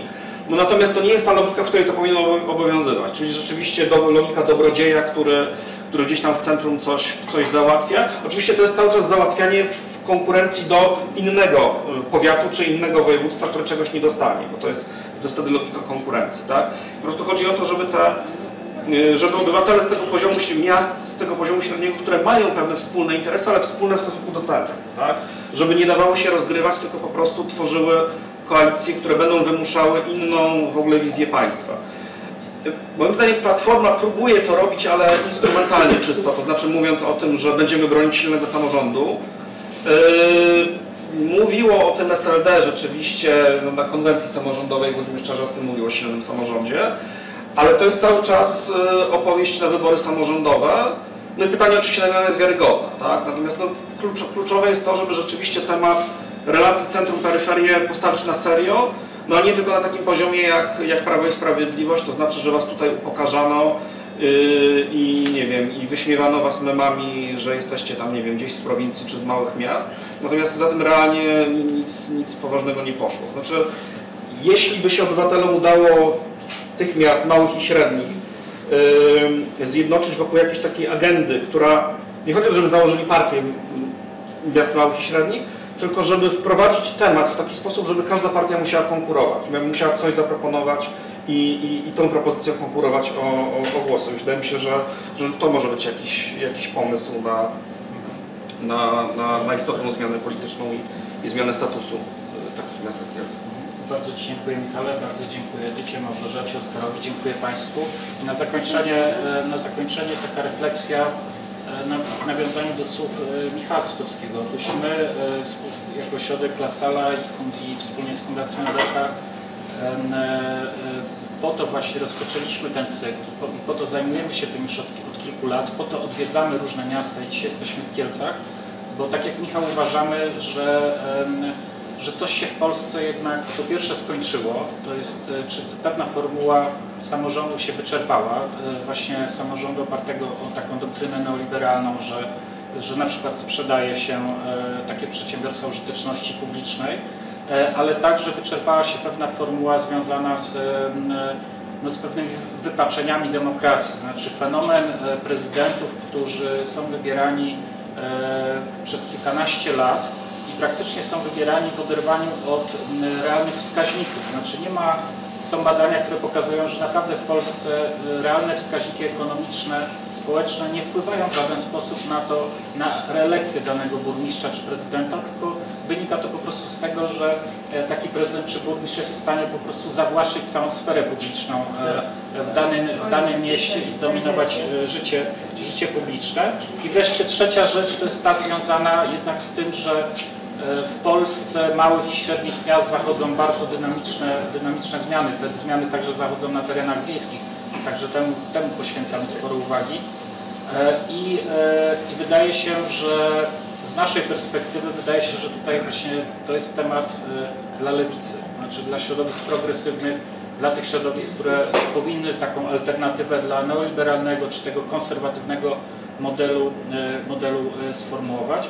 E, I my także jako Ośrodek La Sala e, jesteśmy za, zaangażowani w projekt prezydenta Słupska Roberta Biedronia, który od czterech lat prowadzi taką sieć progresywnych burmistrzów i prezydentów miast. To jest, to jest grupa kilkunastu prezydentów, burmistrzów, burmistrzyń miast i co ciekawe są to miasta małe i średnie. Znaczy tam największe miasto to jest chyba Ostrów Wielkopolski, Słupsk, a tak są tam mniejsze miasta Wadowice, Starachowice, e, e, Świdnica, e, Mielno. I my spotykamy się w tym gronie tych, tych włodarzy tych miast co kilka miesięcy, wymieniamy się doświadczeniami i wiem, że jeszcze przed wyborami samorządowymi wyjdzie taka publikacja, która będzie zawierać dobre praktyki, znaczy to, co tym burmistrzom, wójtom, którzy starają się stawiać czoła tym wyzwaniom, o których była tutaj mowa, żeby podzielić się tymi dobrymi praktykami, bo to jest też nawiązując do słów Michała, znaczy te problemy, o których my tutaj rozmawiamy, to one wybrzmiewają na wszystkich spotkaniach, na których, które my organizujemy w różnych częściach Polski. I one pokazują, że oczywiście ten szczebel samorządowy jest niezwykle ważny, ale także ten szczebel koordynacji państwowej także jest niezmiernie istotny i dlatego chcemy, żeby ta ten temat małych i średnich miast był tematem centralnym e, polskiej, polskiej debaty e, publicznej. I e, chciałem Państwu bardzo podziękować i także powiedzieć, że no, mamy też pewną skalę porównawczą, bo mniej więcej staramy się obserwować, co się dzieje w małych i średnich miastach i mogę na przykładzie tutaj słuchacza, aktywnego słuchacza dzisiejszej dyskusji powiedzieć, że, że to jest bardzo budujące, że tutaj jest tak tyle osób tak świetnie zorientowanych i z taką energią i z pomysłami i bardzo, bardzo mocno będziemy trzymać kciuki za wszystkie progresywne ruchy polityczne, które tutaj w Kielcach będą, e, będą walczyć. E, I chciałem Państwu życzyć e, sukcesów, miłego wieczoru i jeszcze raz przypomnieć, że te publikacje, które tutaj leżą są także dla Państwa i mam nadzieję, że być może spotkamy się niedługo także w Kielcach już w nowej rzeczywistości politycznej. Miłego wieczoru.